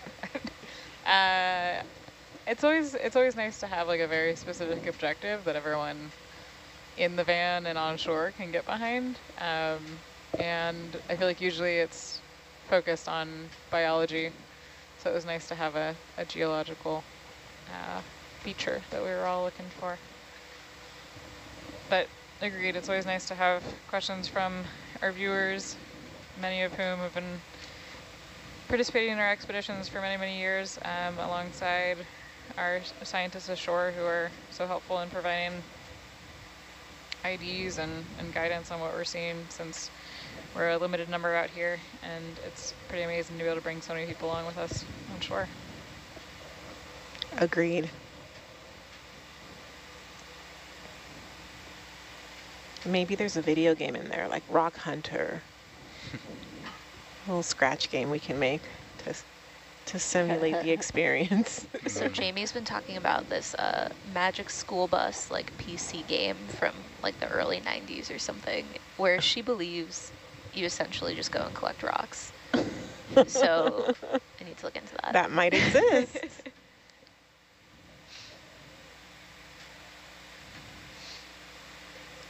oh, that's an interesting question. Do we stream on Twitch? I think the answer is no, but we stream on our website, Nautilus Live, and on YouTube. Am I right about that? Mm -hmm. Yes. Yeah, I got some confirmation. There have been some Twitch tests, but not uh, consistent yet.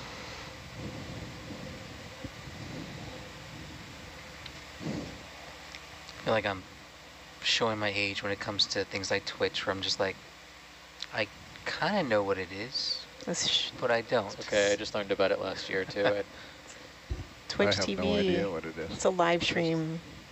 I don't know. I just know my my my kids are really into watching Twitch and watching video games, and then they also broadcast themselves playing video games on Twitch, which may or may not be legal because most things you have to be 18 years old. Uh, Now that I say that out loud, I'll look into that situation.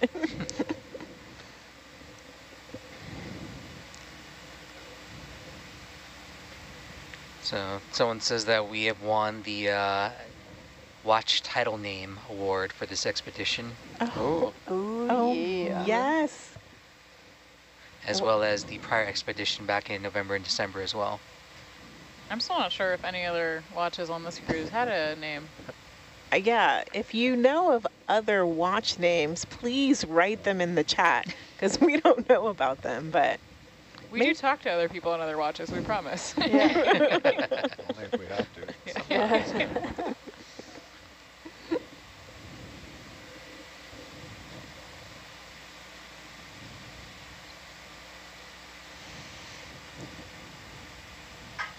But yeah, we go days and have two minute conversation in the van and that's it.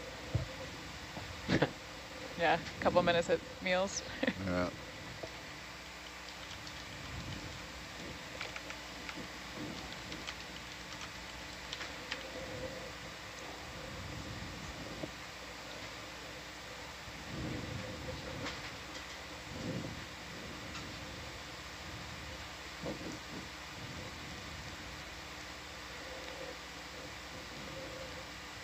just a curious question for me: Do you ever um, descend or ascend with the lights off on the ROVs? Yeah, when we have the par sensor on there, we certainly do. It's looking for uh, light that's we obviously can't see, and they, actually there's some LEDs on the vehicle. We tape all those off, so it's like complete darkness. Yeah, video doesn't like it unless it's necessary. No, none of us, none of us like it. It's like totally relying on your instruments, even Yeah. though you can't see anything but blue. It's you know black is not a lot different. I know. You get a sense of the things going by. I just threw that out there because I had to tell the students that it's it's actually you can't see anything out there. It's black. Yeah, we can effectively see like two meters. Kind of like being in your car at night, I guess. Can't even see that far. Could be a song. When the lights go out on the ROV. They got some spectacular images with Mesobot last year. Yeah, Yeah, the dusk and dawn. Yeah Dusk and Dawn, Twilight Zone. But I was surprised that they could see things at like three to 500 meters. Wow. See little Was it a low light camera? Uh, no, I'm not sure, but they had some specialized instrumentation on there. They could detect, uh, what were they looking at, Steve? Some kind of critters, Mesobot? Yeah, migrating through the water. Uh, Microscopic. I, I don't know. I, I wasn't there, but I would imagine it's probably fish or crustaceans Or it was that live in the deep like scattering layer. some kind of crab. Huh. I, I think uh, I think Megan was there. Yeah. They were, they were in the water column, right? Not, not plankton, but, you know, high concentrations of some very Yeah. Small animal that comes up and goes down during the twilight. So for the folks at home, the Mesobot is a autonomous vehicle uh, that's operated by the Woods Hole Oceanographic Institution. And Mesobot will actually be back out on Nautilus uh, this year in May. Uh, we'll have a few vehicles out for a technology integration through the Ocean Exploration Cooperative Institute, which is a NOAA ocean exploration funded uh, initiative that Nautilus is part of. Um, so we'll be having partners out from Woods Hole bringing out uh, the autonomous vehicle Mesobot as well as the hybrid remotely operated vehicle Nereid Under Ice, the NUI vehicle, um, which as the name suggests, usually operates under sea ice conditions, um, but is also going through testing to, um, we're, we're bringing actually three vehicles out, so let me step back. Mesobot, Nereid Under Ice, NUI, and the DRIX, which is a University of New Hampshire um, operated vehicle that is a surface vehicle that can do a shallow water mapping. So the goal is to have three vehicles out at once and um, kind of iterate on being able to launch uh, multiple vehicles throughout a 24-hour operating period with the eventual goal of potentially being able to run them simultaneously uh, to maximize operational time at sea. Ooh, great jelly. Helmet jelly. Is this the same jelly that was seen earlier in the cruise that went famous? Got a little viral? Can do a 4K zoom in it. Nope. Not anymore. Bye-bye. Uh, so if you are watching our expeditions, it'll be after our next uh, ROV expedition. Um, it'll look a lot different though. All of the vehicles um, are autonomous, so they don't have that uh, cable back to the ship, so they also don't have the real-time video feeds. Although now I say that, I think NUI might have one iteration which does involve a tether. Um, It does. yeah, and I don't know if they're deploying it on this cruise. So uh, if you're watching our expeditions um, in May, it'll look a little different. They'll be mostly topside cameras uh, with potentially some views into the control van where you'll see three operational teams set up, um, as well as the wet lab and the ROV hangar will look a lot different as all four of our ROVs will be uh, dockside for that expedition. Where do you put three ROVs? Does Herc and Argus stay on board?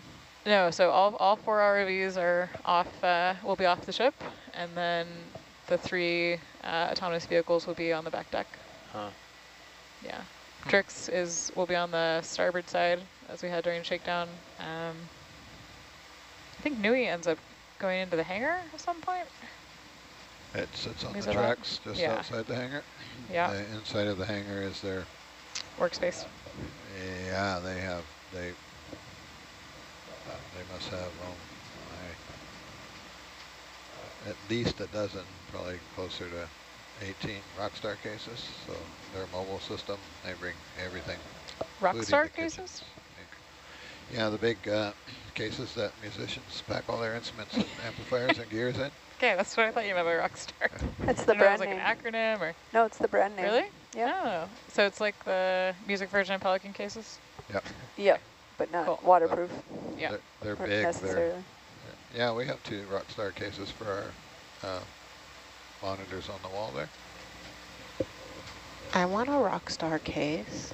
The, the ones for the wall, the big monitors, are actually Maxline custom made Mm. in Portland, Oregon.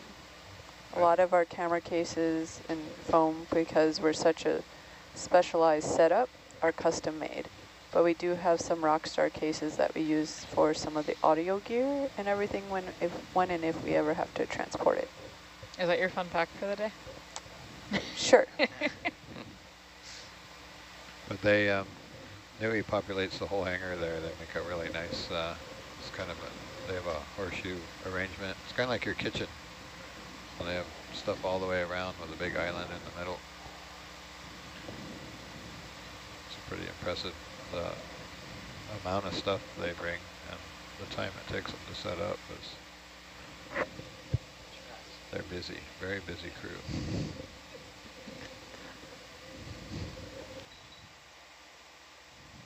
We got to get all of our stuff out of here because they come in here and just take over.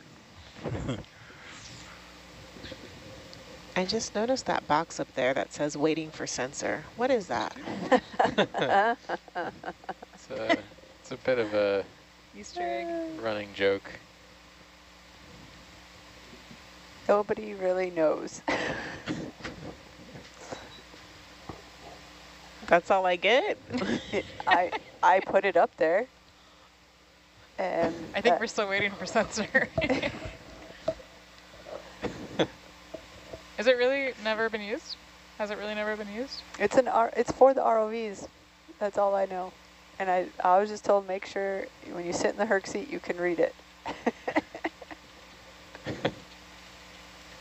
Did, did it come over from the old vans? Oh, yeah, most definitely. Yeah, so it's been waiting now for a very long time. a couple years. Thought I recognized it. Things you start to notice on Blue Water Watch. I think it was an old uh, load cell, it, it, or it's uh, for the um, the other winch that's on the deck there, the winch that's on the social deck. It's uh, might be a line counter and or a load cell for that. I've only ever used that once before. That winch. Uh, it gets used on uh, ONC quite a bit. ONC, you said? Yeah. Yeah. And How- It's super cool actually now where you guys remounted your uh, cam starboard because you can turn around and actually look at that winch. There's a remote here under my feet for it. Sorry, go ahead. Uh, I was just going to ask another question. How how new is the new van and how old is the old van? This van was uh, completed in 2020. And it's actually three vans or cargo containers put together that they can operate. You can operate with just the van, one van where all the front row is, where nav, ROV, and video is. But you can't, you need the, the front van to be able to use the other two. But you can go just one and two, or you can do one, two, and three, or just one. And the whole system's meant to be mobile, so we could pack it all up and ship it to wherever it may need to be. And then uh, install install it on another vessel if needed. However, I do not know when or if that will. Just need Nice. And is this uh, the second iteration of the control van or has there been more? Well, of this style of being mobile in this effect, this is the first Oh, okay, of nice. this particular, for Nautilus. The old vans were about half the size. I mean, Antonella, in the old van, Antonella and I would be like resting our head on each other's shoulders, and you would be trapped in the corner be behind me and unable to get out unless I moved. The SCF position was the short, short straw, for sure. Had a, like a air conditioning blowing down on you. Uh, Sometimes dripping down on you. Oh. Yeah.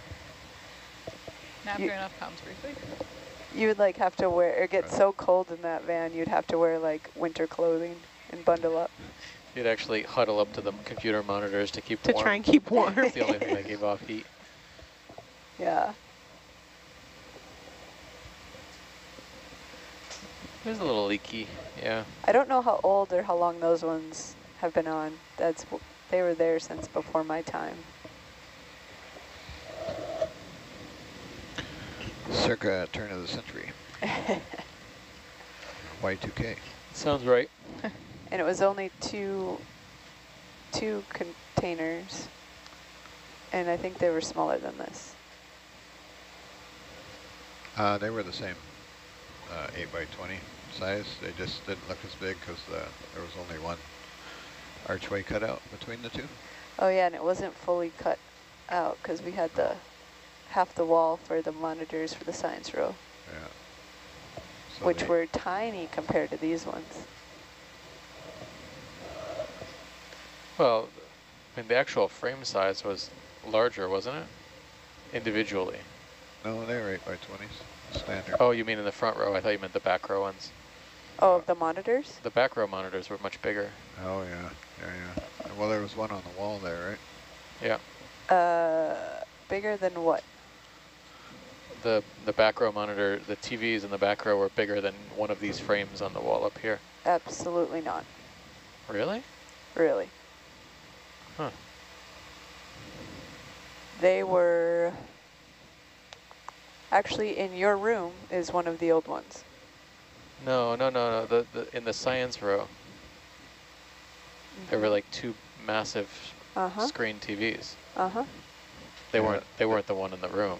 They were the ones on the wall, you mean? Yeah, the ones Yeah. on the wall. Yeah. They definitely weren't bigger than these. These are the biggest monitors we had, special ordered. These are broadcast wall monitors. I think we might be talking about two different monitors.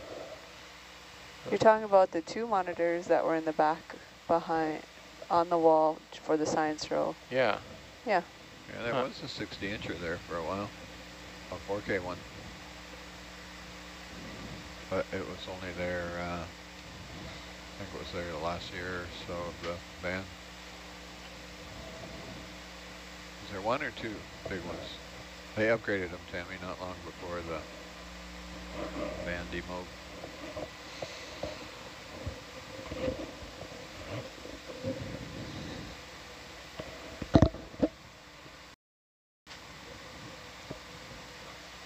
wonder where that monitor went. It's a brand 4K monitor. I think it was broken.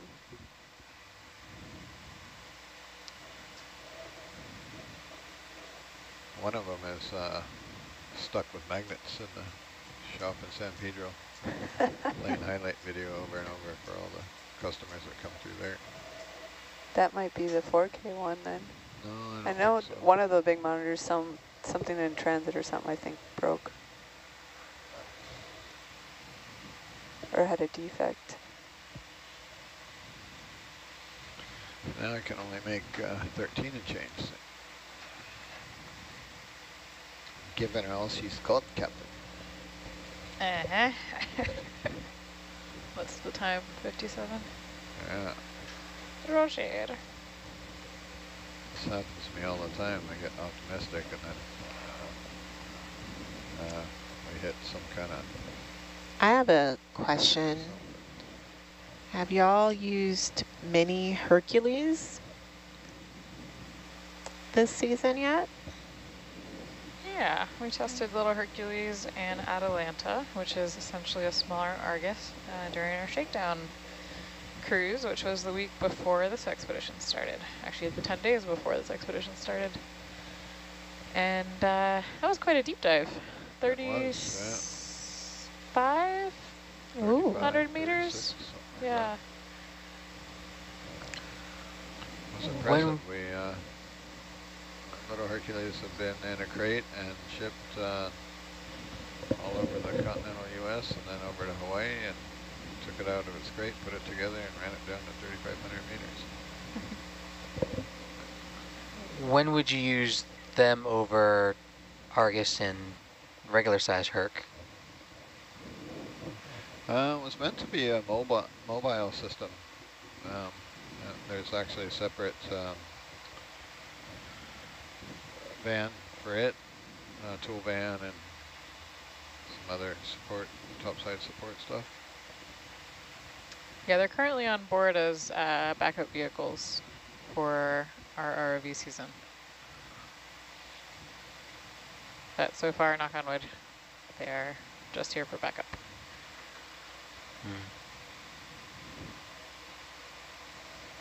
But uh, Little Hercules is just an imaging vehicle. There aren't uh, collection boxes on board, and there's not a manipulator arm, so it's just for just for collecting video imagery. Gotcha. But it can take the uh, the 4K, or it can actually fit the Zeus camera, which is amazing for a thousand pound vehicle to have such a huge camera on it. Just can't grab anything. No, it needs a grabber. It's an electrical grabber. There's no hydraulic power unit on it, so the thrusters are electrical, the same kind of thrusters that are on Argus.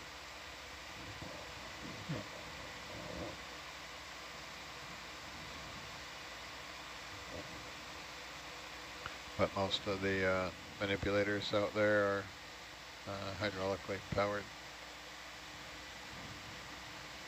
Electric ones are more for the uh, kind of the drone and blue blue ROV kind of size stuff.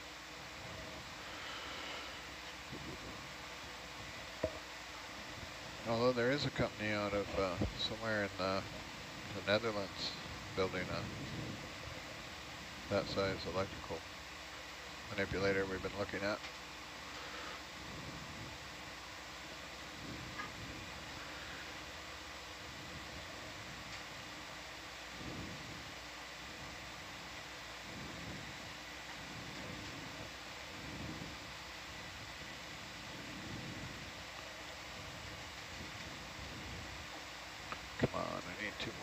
a minute. I kind of get it.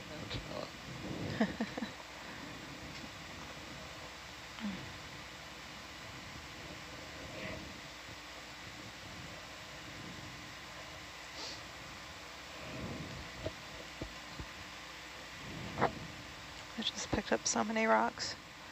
Crap valve is off, right? Yeah. I think Bob's theory about the warmer water being less buoyant is, I always thought it was the other way around. The what? Robert's experience in Alvin, when it comes up and you get into the warmer, less dense water, you, uh, you, there's less flotation on the vehicle. And I always thought that the more pressure you had, that the uh, syntactic foam would gets a little smaller and has less flotation properties. But it's been an mm. ongoing discussion, but it's hard to argue with a guy that spent 20 years in a man sub. It will come up and actually hit the warm water and stop like you hit a. Huh. It happens free diving too. Oh, Or yeah. no, you don't stop, stop, but there's a like a you get pulled down after a certain point. Interesting. Yeah. So in hindsight, we should have took that high speed while we can. And You know what they say? what's that? Well, still, we'll be on time. We'll be close. 10 till. Yeah. Hindsight is 2022. I think that's the year. So I usually take whatever we can get, and then that last. What's the water temperature now? Let's, yeah, it's come from four degrees to six and a half. Does this syntactic foam undergo significant compression? Like it should No, keep its I shape. don't think so. Okay. If you were It does move around a little. I, I think it depends on the construction of it, how dense it is. Mm. Operated some vehicles where it gets loose enough to rattle at depth. Like it's tight Oh, on, wow. on deck, and that's why we use the Belleville washers on, on Mhm. the top and then rubber on the bottom so it stays attached to the vehicle. Mm. But I think it depends on the uh, shape of the syntactic foam and the manufacturer, Mm. how dense it is, how much spheres versus epoxies in it. Gotcha. So we're getting kind of close to 500. Um, we just run briefly through uh, the new recovery. Not new recovery, but slightly modified recovery. Uh, we'll still track forward at one to two knots uh, when we get to 500 meters. Roger. Um, increase streaming speed if Herc's not lined up the ship as we move to 300 meters. Um, same for 200 up to three knots. And that's also when the note here is that Herc may go into bypass as we're passing through the thermocline. Uh, 100 meters will inform all stations if Herc is off to one side and the pilots are not able to thrust to come in line if you've gone into bypass.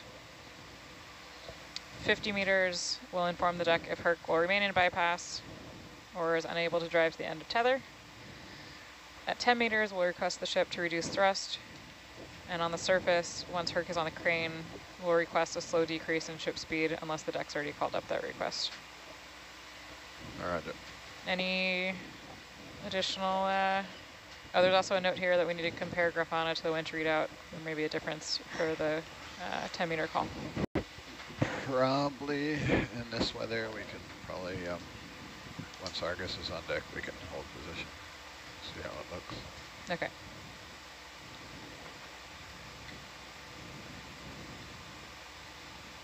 Not, not slow down.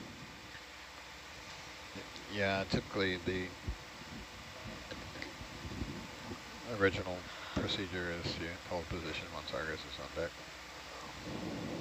And the reason not to keep going forward through the water is we have these big swells plus the drag on Yeah. Herc is uh, tugging Argus around pretty good on deck. It will depend on the surface current.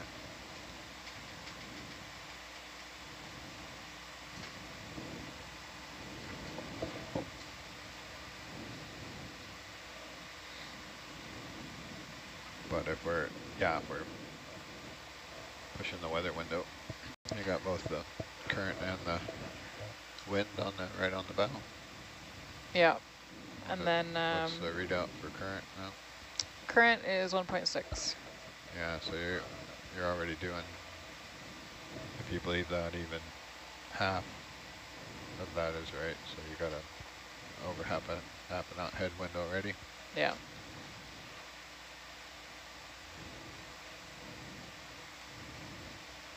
Looks like it has been spiking up to 22, but What's that? it looks like it has, the wind also has been spiking up, um, but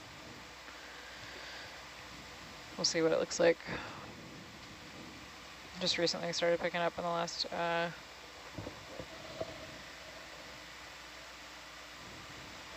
hour-ish.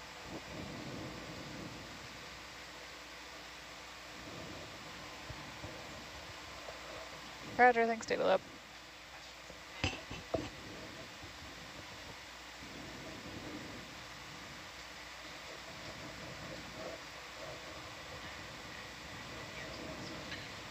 Yeah, that's historically why Rennie doesn't like to start streaming early because he watches that current like a. He's got to keep an So- eye on that. We have a question of, uh, do we ever send all that stuff. decorated styrofoam cups down with Herc and watch them shrink? On camera. Not on Herc. We've done that on some other systems. I was talking about uh, sacrificing one of Argus's cameras to put them on the cups. That's really entertaining to watch, especially if you put it to music.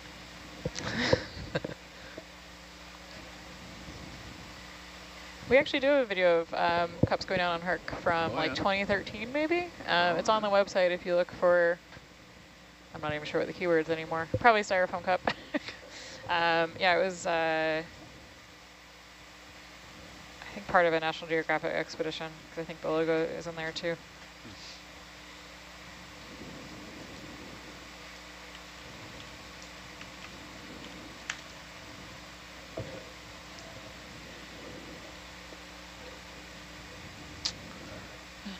There it is. Just go to nautiluslive.org and type in cup in the search bar. and Is that a video or that's the, that's There's the a blog? blog. There's an animation or graphic.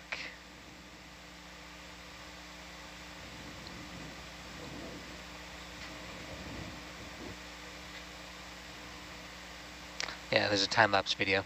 Nice. Really? I haven't seen that. I've been all over that website.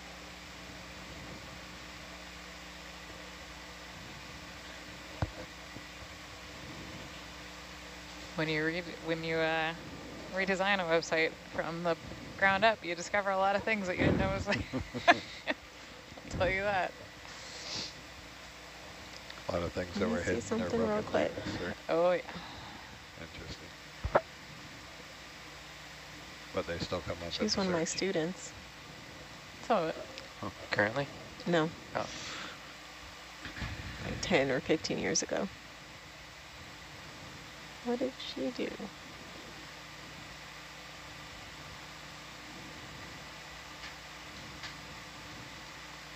Boom, and that just happened. We went from 13 to 19.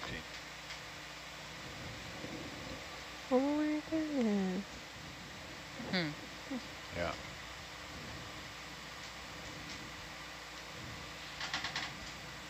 You can speed up. Sweet. Keys.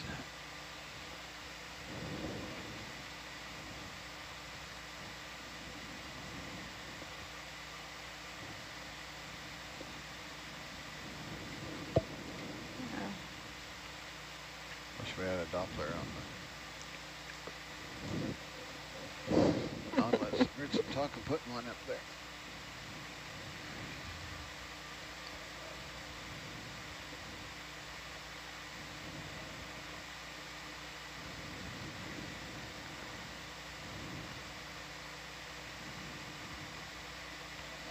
Cool.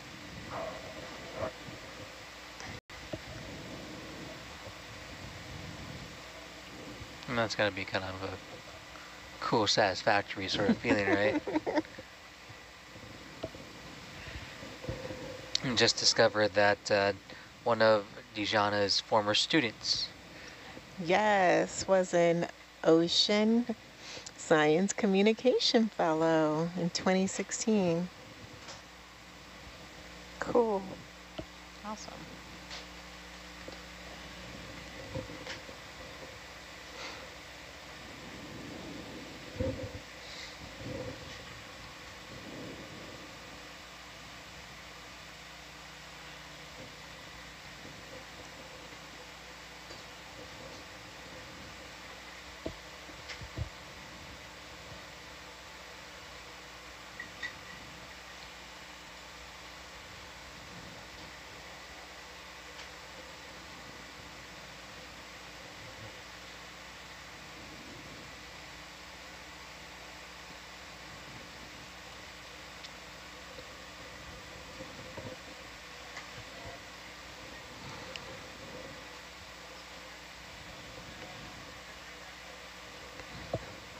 Waiting to see when we get closer to 700, 900 feet, because I think that's one of the deepest free diving dives that a human's done.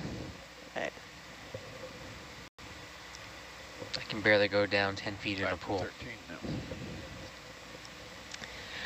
that person, I think, can hold their breath for nine minutes. Jeez. That's such a wild skill to have. right? Nine minutes? Are you kidding me? Like 90 seconds is pushing it for me. Yeah. Maybe, maybe 60 seconds. Okay, RV, are we ready to start moving forward? We can wait till 500. But Oh, you can go now. Oh, Okay. check and see where we're at. Might be up to speed by time we're at 500. Yeah. Oh, she's talking meters. Hmm. We still have a ways to go. Bridge, no? You know, every Christmas they uh, We can start a lot of forward. stations will like show the Yule log burning because Uh, people have gone off to. Mm-hmm. We should do the blue lo or the blue water. You know, Yeah, with some music. yeah. Yeah.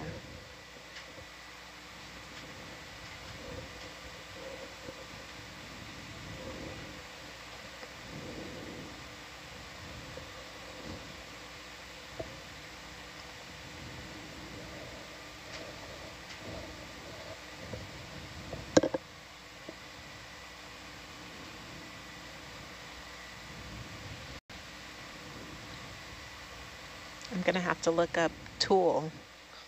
Listen to some of that music. Apparently they've been around since the 90s. Yeah, no, I've uh, I mean, I've had the pleasure of seeing them twice live. It's just really cool, and they always put on a fun show.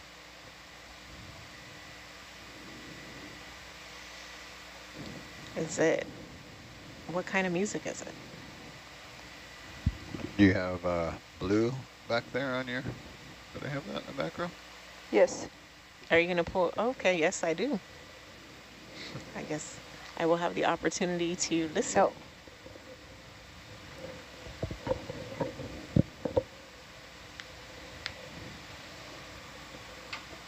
Is that the earliest one? I think that's the earliest one.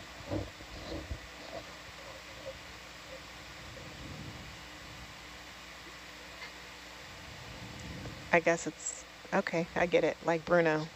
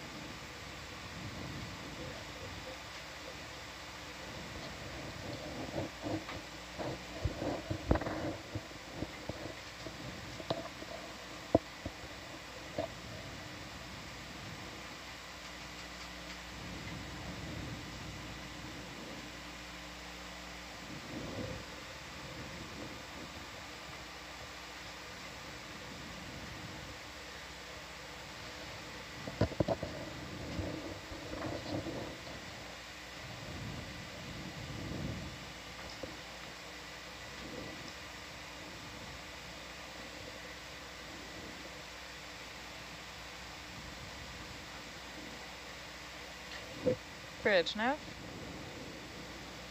Uh, secure tanks, enable air tuggers, and uh, let us know when the captain's on the bridge. Thank you.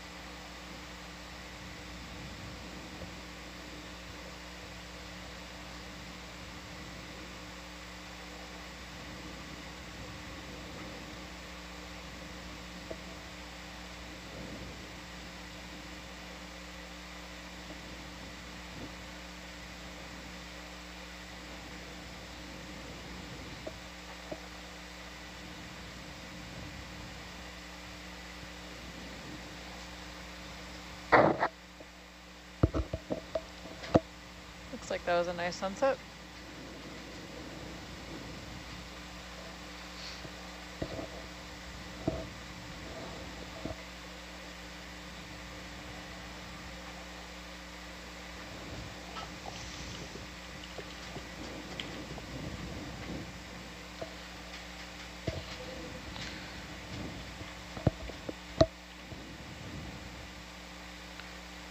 So someone is asking what air tuggers are.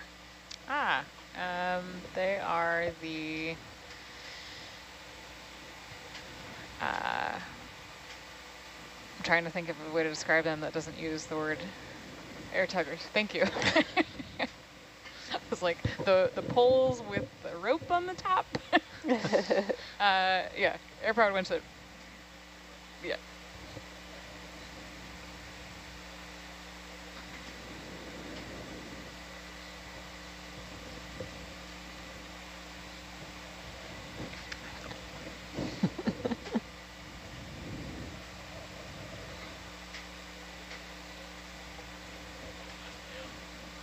Huh.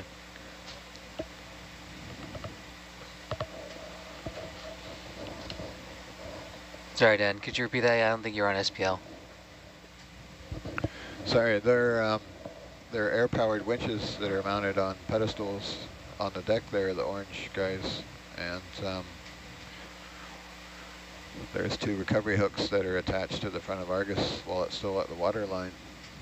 And then uh, when we lift Argus the several meters from the water line to deck level, um, those pull Argus in, so they keep it from swinging. Okay. And they also kind of slide Argus across the deck as it, we kind of land it hanging half off the deck and then uh, Herc's tugging on it from the, uh, tugging on the aft part of it, Argus, and the, the air tuggers are tugging on the front part and that keeps it from swinging fore and aft as it comes into its uh, landing position. Okay.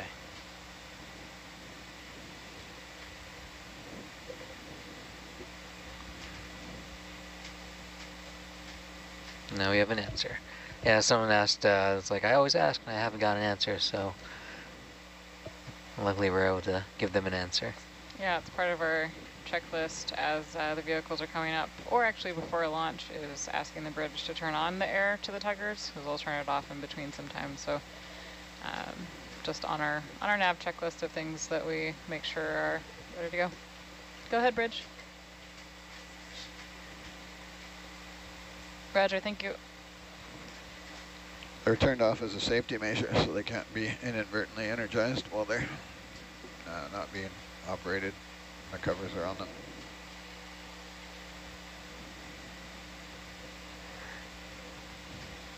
They make about uh, close to a thousand pounds of force each one, and a 17,000 pound uh, line attached to them.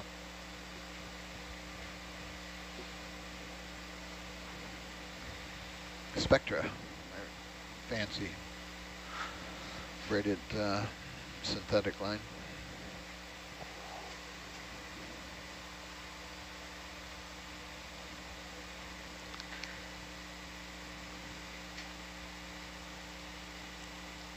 Someone else asked, at what depth do we see sharks? And I suppose at any depth we can see sharks, really. Um, the last time we saw the oceanic white tips was right near the surface when we were recovering.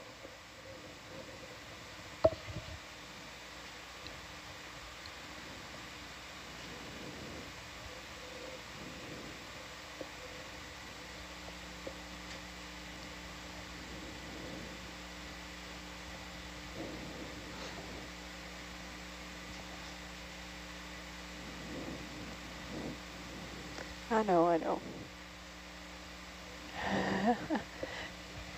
no, they, they weren't responding to me or the thing. Were there people over there? Oh, done. Camera works.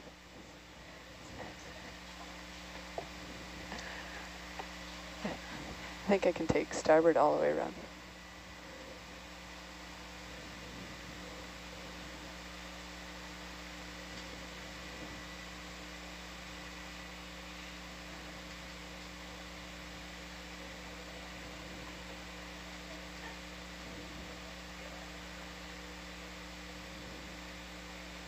Roger.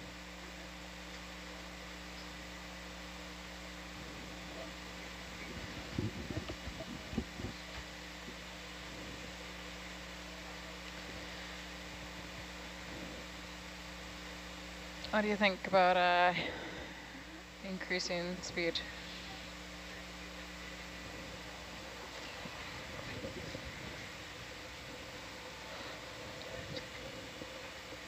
One and a half? Um, good for the moment. Hmm? I think we're all right Okay. moment. That's enough in the goalpost? Yeah. If it starts swinging any more to the south, we'll bump it up. Water is still pretty cold. 50 meter grid? Uh, it doesn't matter. Whatever makes you happy there.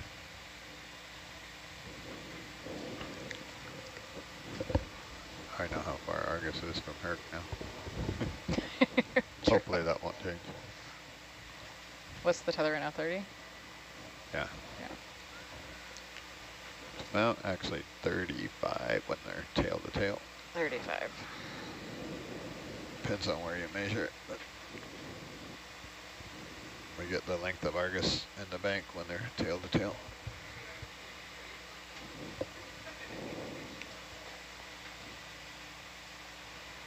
Steve, someone asked if this is the, uh, when the next dive is. Is this our last dive of this leg of the expedition or? Yeah, um, it looks like that's the case. Uh, so if we if we would did want to try and sneak in a dive, Sneaky dive. what we would have it. to do is Descend right now. Not tear the vehicles apart when we yeah, get pretty on much turn on the main engines immediately uh, on recovering, and then zoom back down to Kingman, which is 10 hours. We can get in the water for about eh, four or five hour dive, and then we can get up, and then that's about it. We should do it. Before the weather starts to turn. Wouldn't that just be us descending to the bottom I'm and then like coming right back up? hours. Well, I mean, It depends so on the depth. We would do a shallow dive, yeah. Uh, Don't tempt me. That I'll do it. sounds- That sounds much more fun than maintenance. Yes, no rocks, probably within the depth range capable. But you'd be able, you'd have to do that and then pretty much just go straight back to uh, shore. What are some There of the would be no- constraints that you're looking at? Weather constraints, yeah, yeah, mostly weather. But there's also time. I mean, and, and comfort. Um, you know, we're going to be beating up into the, you know, not the nicest seas for about three or four days straight. So why prolong it? We're already 10 hours closer to Honolulu than going back to Kingman.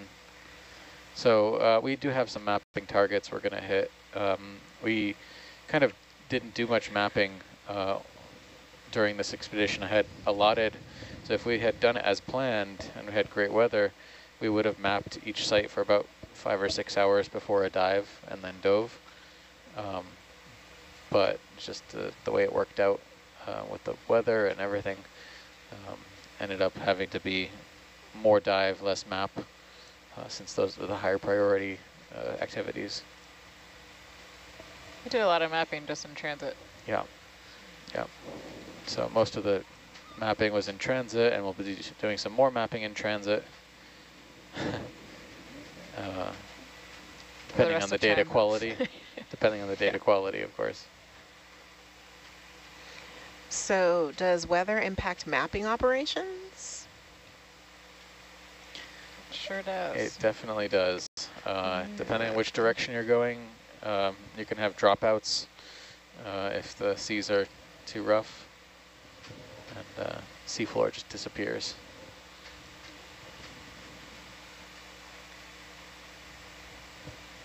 And then there's there's a point where, you know, usually we do XBTs or UCTDs, and if the deck is that unsafe, um, we have other ways of getting sound speed profiles, but, you know, those are the best quality, to get the best quality data, you still want to be able to do those. And uh, it's not, not pleasant to be out on the back deck when it's 10, 11 foot seas. Ooh, have you done that? Ouch. I don't think so. Okay. Know, have we done that on the way down? Probably. What was the question? Have we, do we do XBTs during the weather on the way down? Uh, we definitely did XBTs on not great weather days, but if it's overnight and also poor weather, we usually just use uh, World Ocean Atlas or other yeah. other sources. But if it's poor weather during the day, we'll sometimes slow the ship down.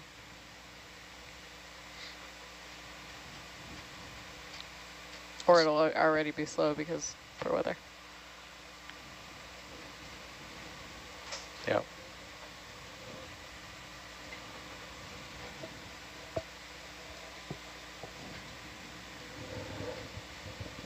Looks like we're getting a wind spike again. When I started as an ocean science intern, we were the watchstanders, the science process sample processors, and the mappers. Ouch. All on the same. Uh, Whoa. Uh, we are doing triple duty. And it was amazing. It was so fun. That's lots of jobs for one person. It was a lot of jobs. Yeah, we had. We we were lucky to have a mapping department now that coordinates that much higher pro quality product too.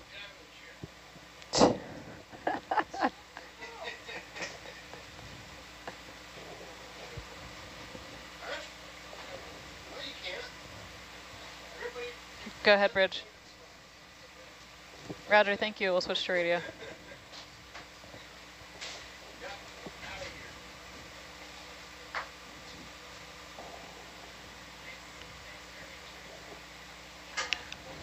So there are some people earlier asking about like how, you know, you can get aboard one of these explorations and and I was hoping maybe Rebecca you could talk a little bit about how, you know, you got, you know, your journey to come aboard Nautilus and kind of things that you did?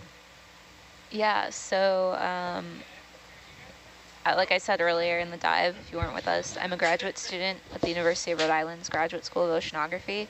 Um, and part of our requirements for graduation is to go on at least one cruise of five consecutive nights. Um, so people are always looking around um, for opportunities. So Dwight Coleman, who's one of the lead scientists ashore for this expedition, was looking for two extra geologists to go on this cruise um, and approached my advisor um, with that opportunity. And so she told Coralie Rodriguez and I about this opportunity in early February um, and just had us get in touch with Dwight if we wanted to go. And here we are. So very quick turnaround. Um, I know other peers of mine have, uh, you know, gotten an opportunity to go on a cruise and left like the next day kind of deal. Wow. So it can it can work pretty quickly. Cool. Yeah. What about you, Dejana? Pure luck. Pure luck. Just really, really lucky and honored to be asked to serve as a science communication fellow for this leg of the expedition.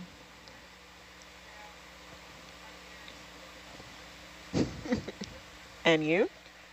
Uh, because they were diving within the Pacific Remote Island Marine National Monuments, um, certain permits had to be um, filled out in order to take samples from the monuments, um, which are co-managed by you know the U.S. Fish and Wildlife Service as well as you know NOAA. Um, so it was just kind of a great opportunity to come out here and see the work and the science that's being done, um, and then also help further the message of why you know these remote these monument these marine national monuments are so important. Awesome.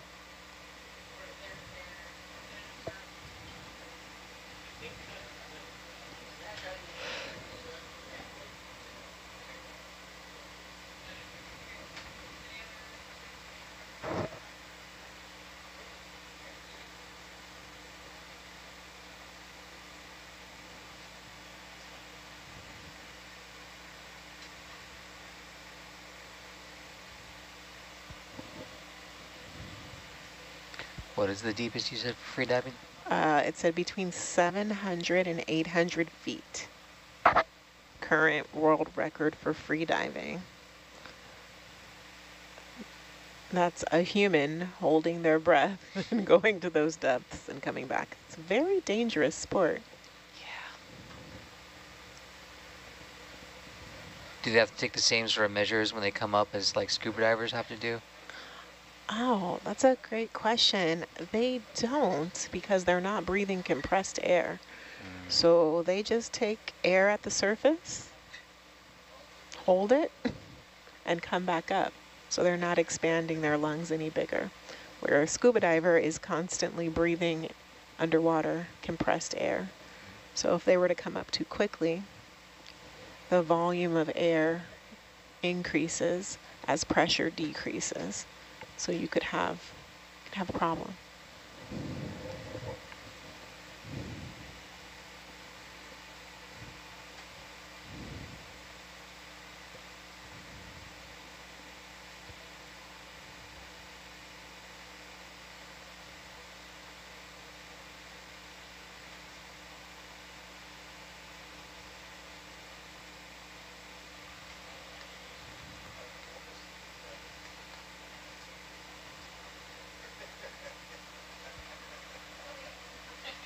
I can't wait to see the styrofoam cups. In addition to our biological and geological samples that we'll be retrieving shortly when the vehicles are back on deck, um, we also will be able to retrieve some styrofoam cups that we sent down with Argus that will also help demonstrate the impact that pressure has on air spaces at great depths.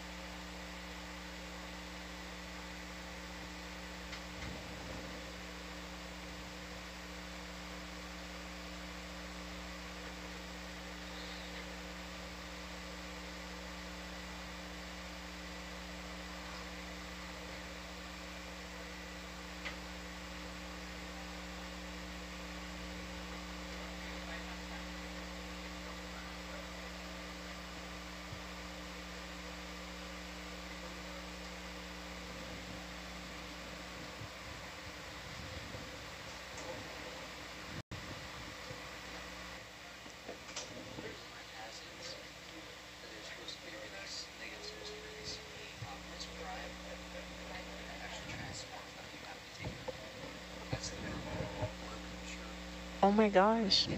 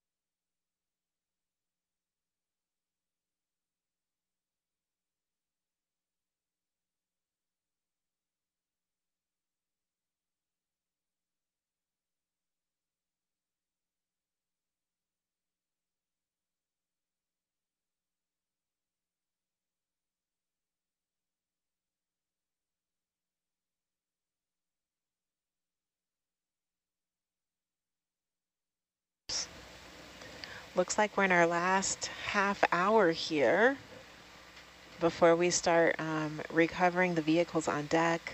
For those of you that are still with us, thank you for joining us for the Blue Water Watch.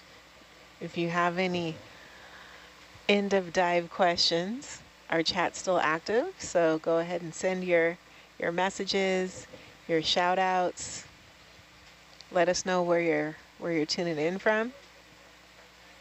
We love hearing from you all.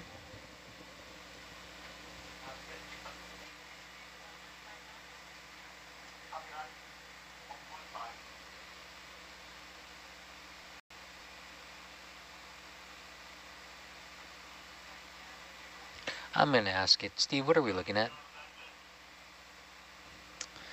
Uh, you really want to know? um, it's probably bits of squid ink um, and things. Huh.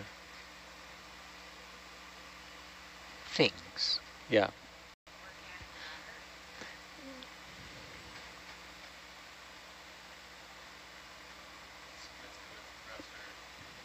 Mm -hmm.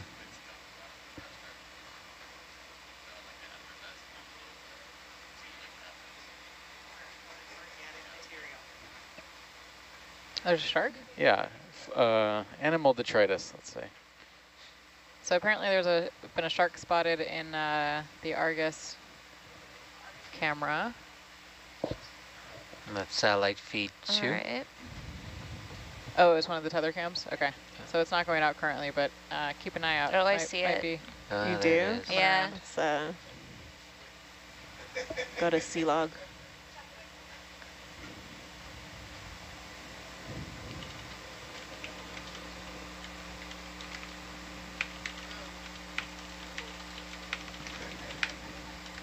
Where is it? It's right up there by the No.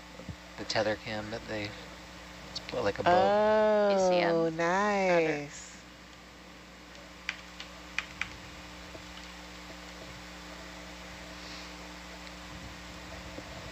Pyrosome.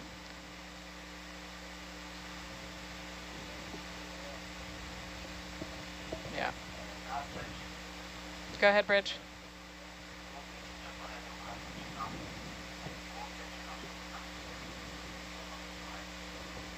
You want to drop down? Uh, stand by, Bridge. Okay, so keep, so we can keep at 1.5?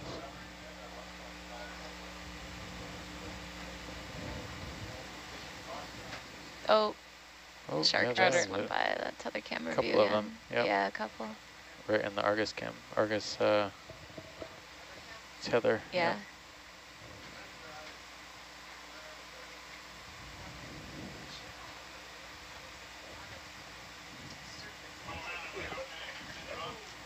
Uh, Swells are stand by getting deck. bigger. How do you mean? Like we'll uh, hold in it the water? at 5-0. Yeah, that's a lot of, I, I think just particulate matter. Some of it maybe from the vehicle, some of it is probably just from the surrounding ocean. Lots of siphonophores and things.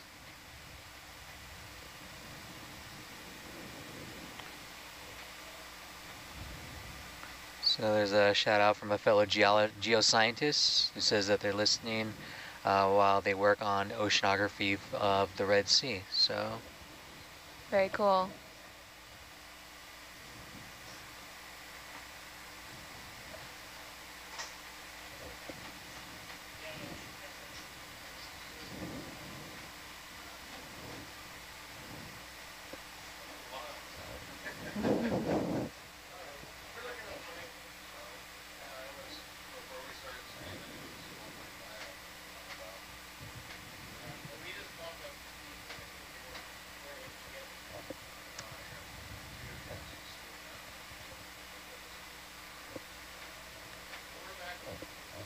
Yeah, we're at 0.3 now.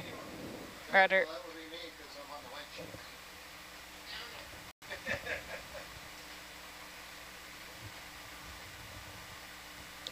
Okay, so you're actively driving. You're actively driving.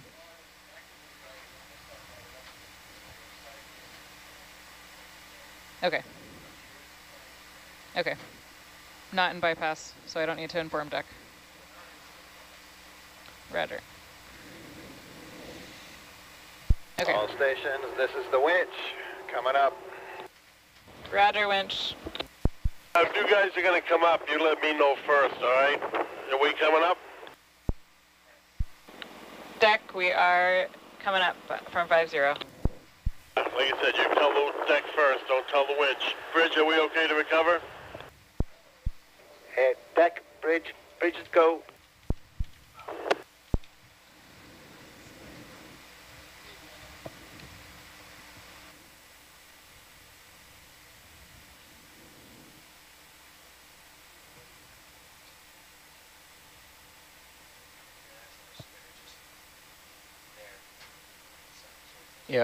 Yeah. I also have all sorts of, you know, depends on the time of day. Really, you have all sorts of marine plankton and small fish. And um,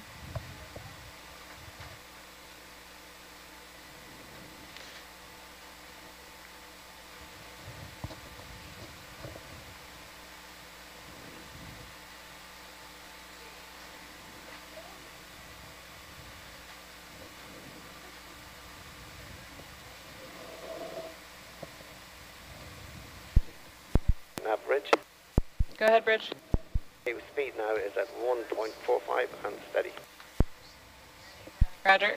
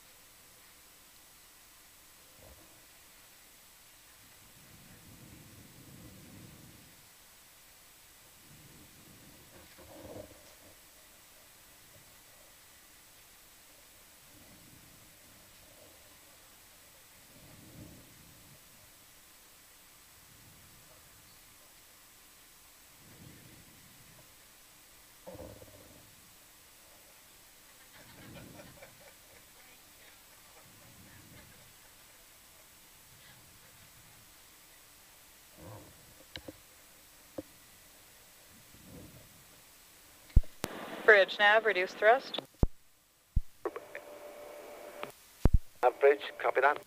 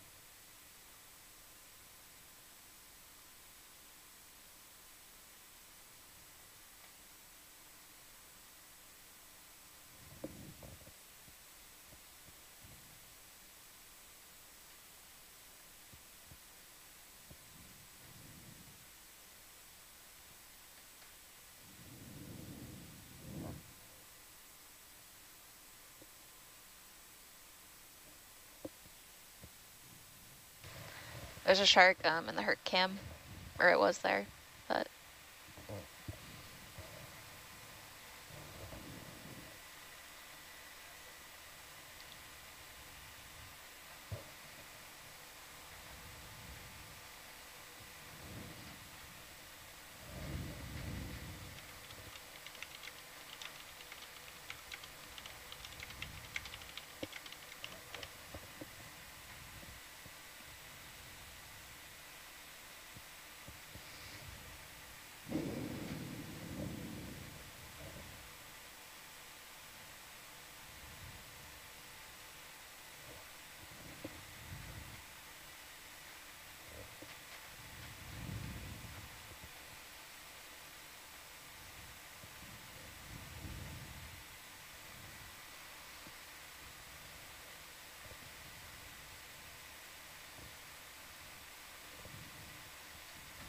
Uh, nav bridge, jet pump uh, restored to full power. Roger.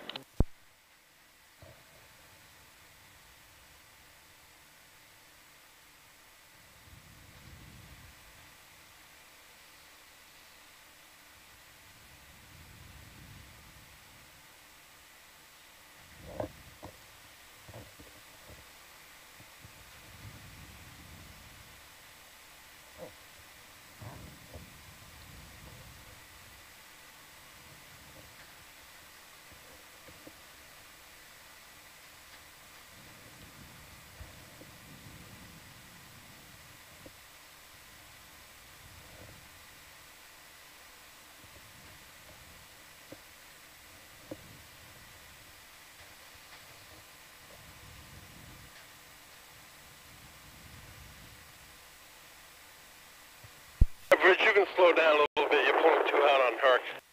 Yeah, roger that.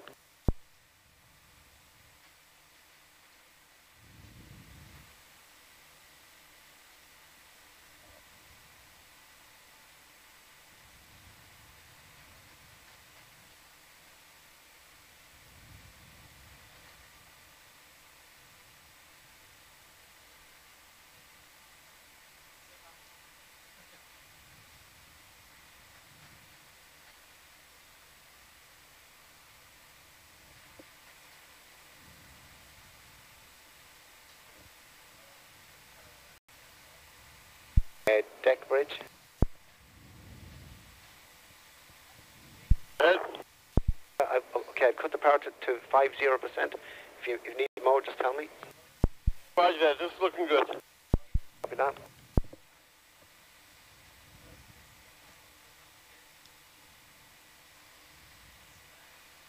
Then the Niskin bottle. Yeah, we didn't use that one.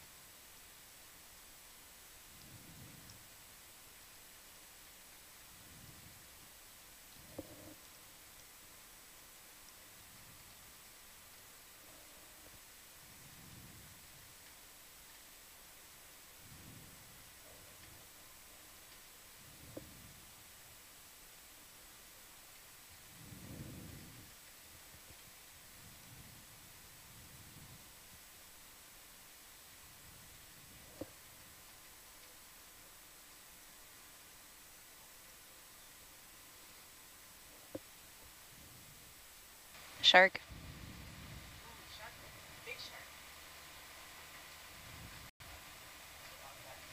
I don't think that was a white tip.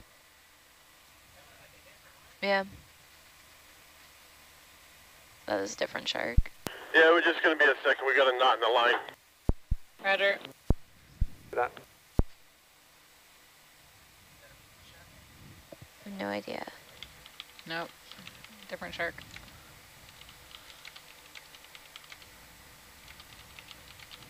Yeah, blue shark, shark or salmon shark, I think, are out here too. trying to remember what we saw a couple years ago.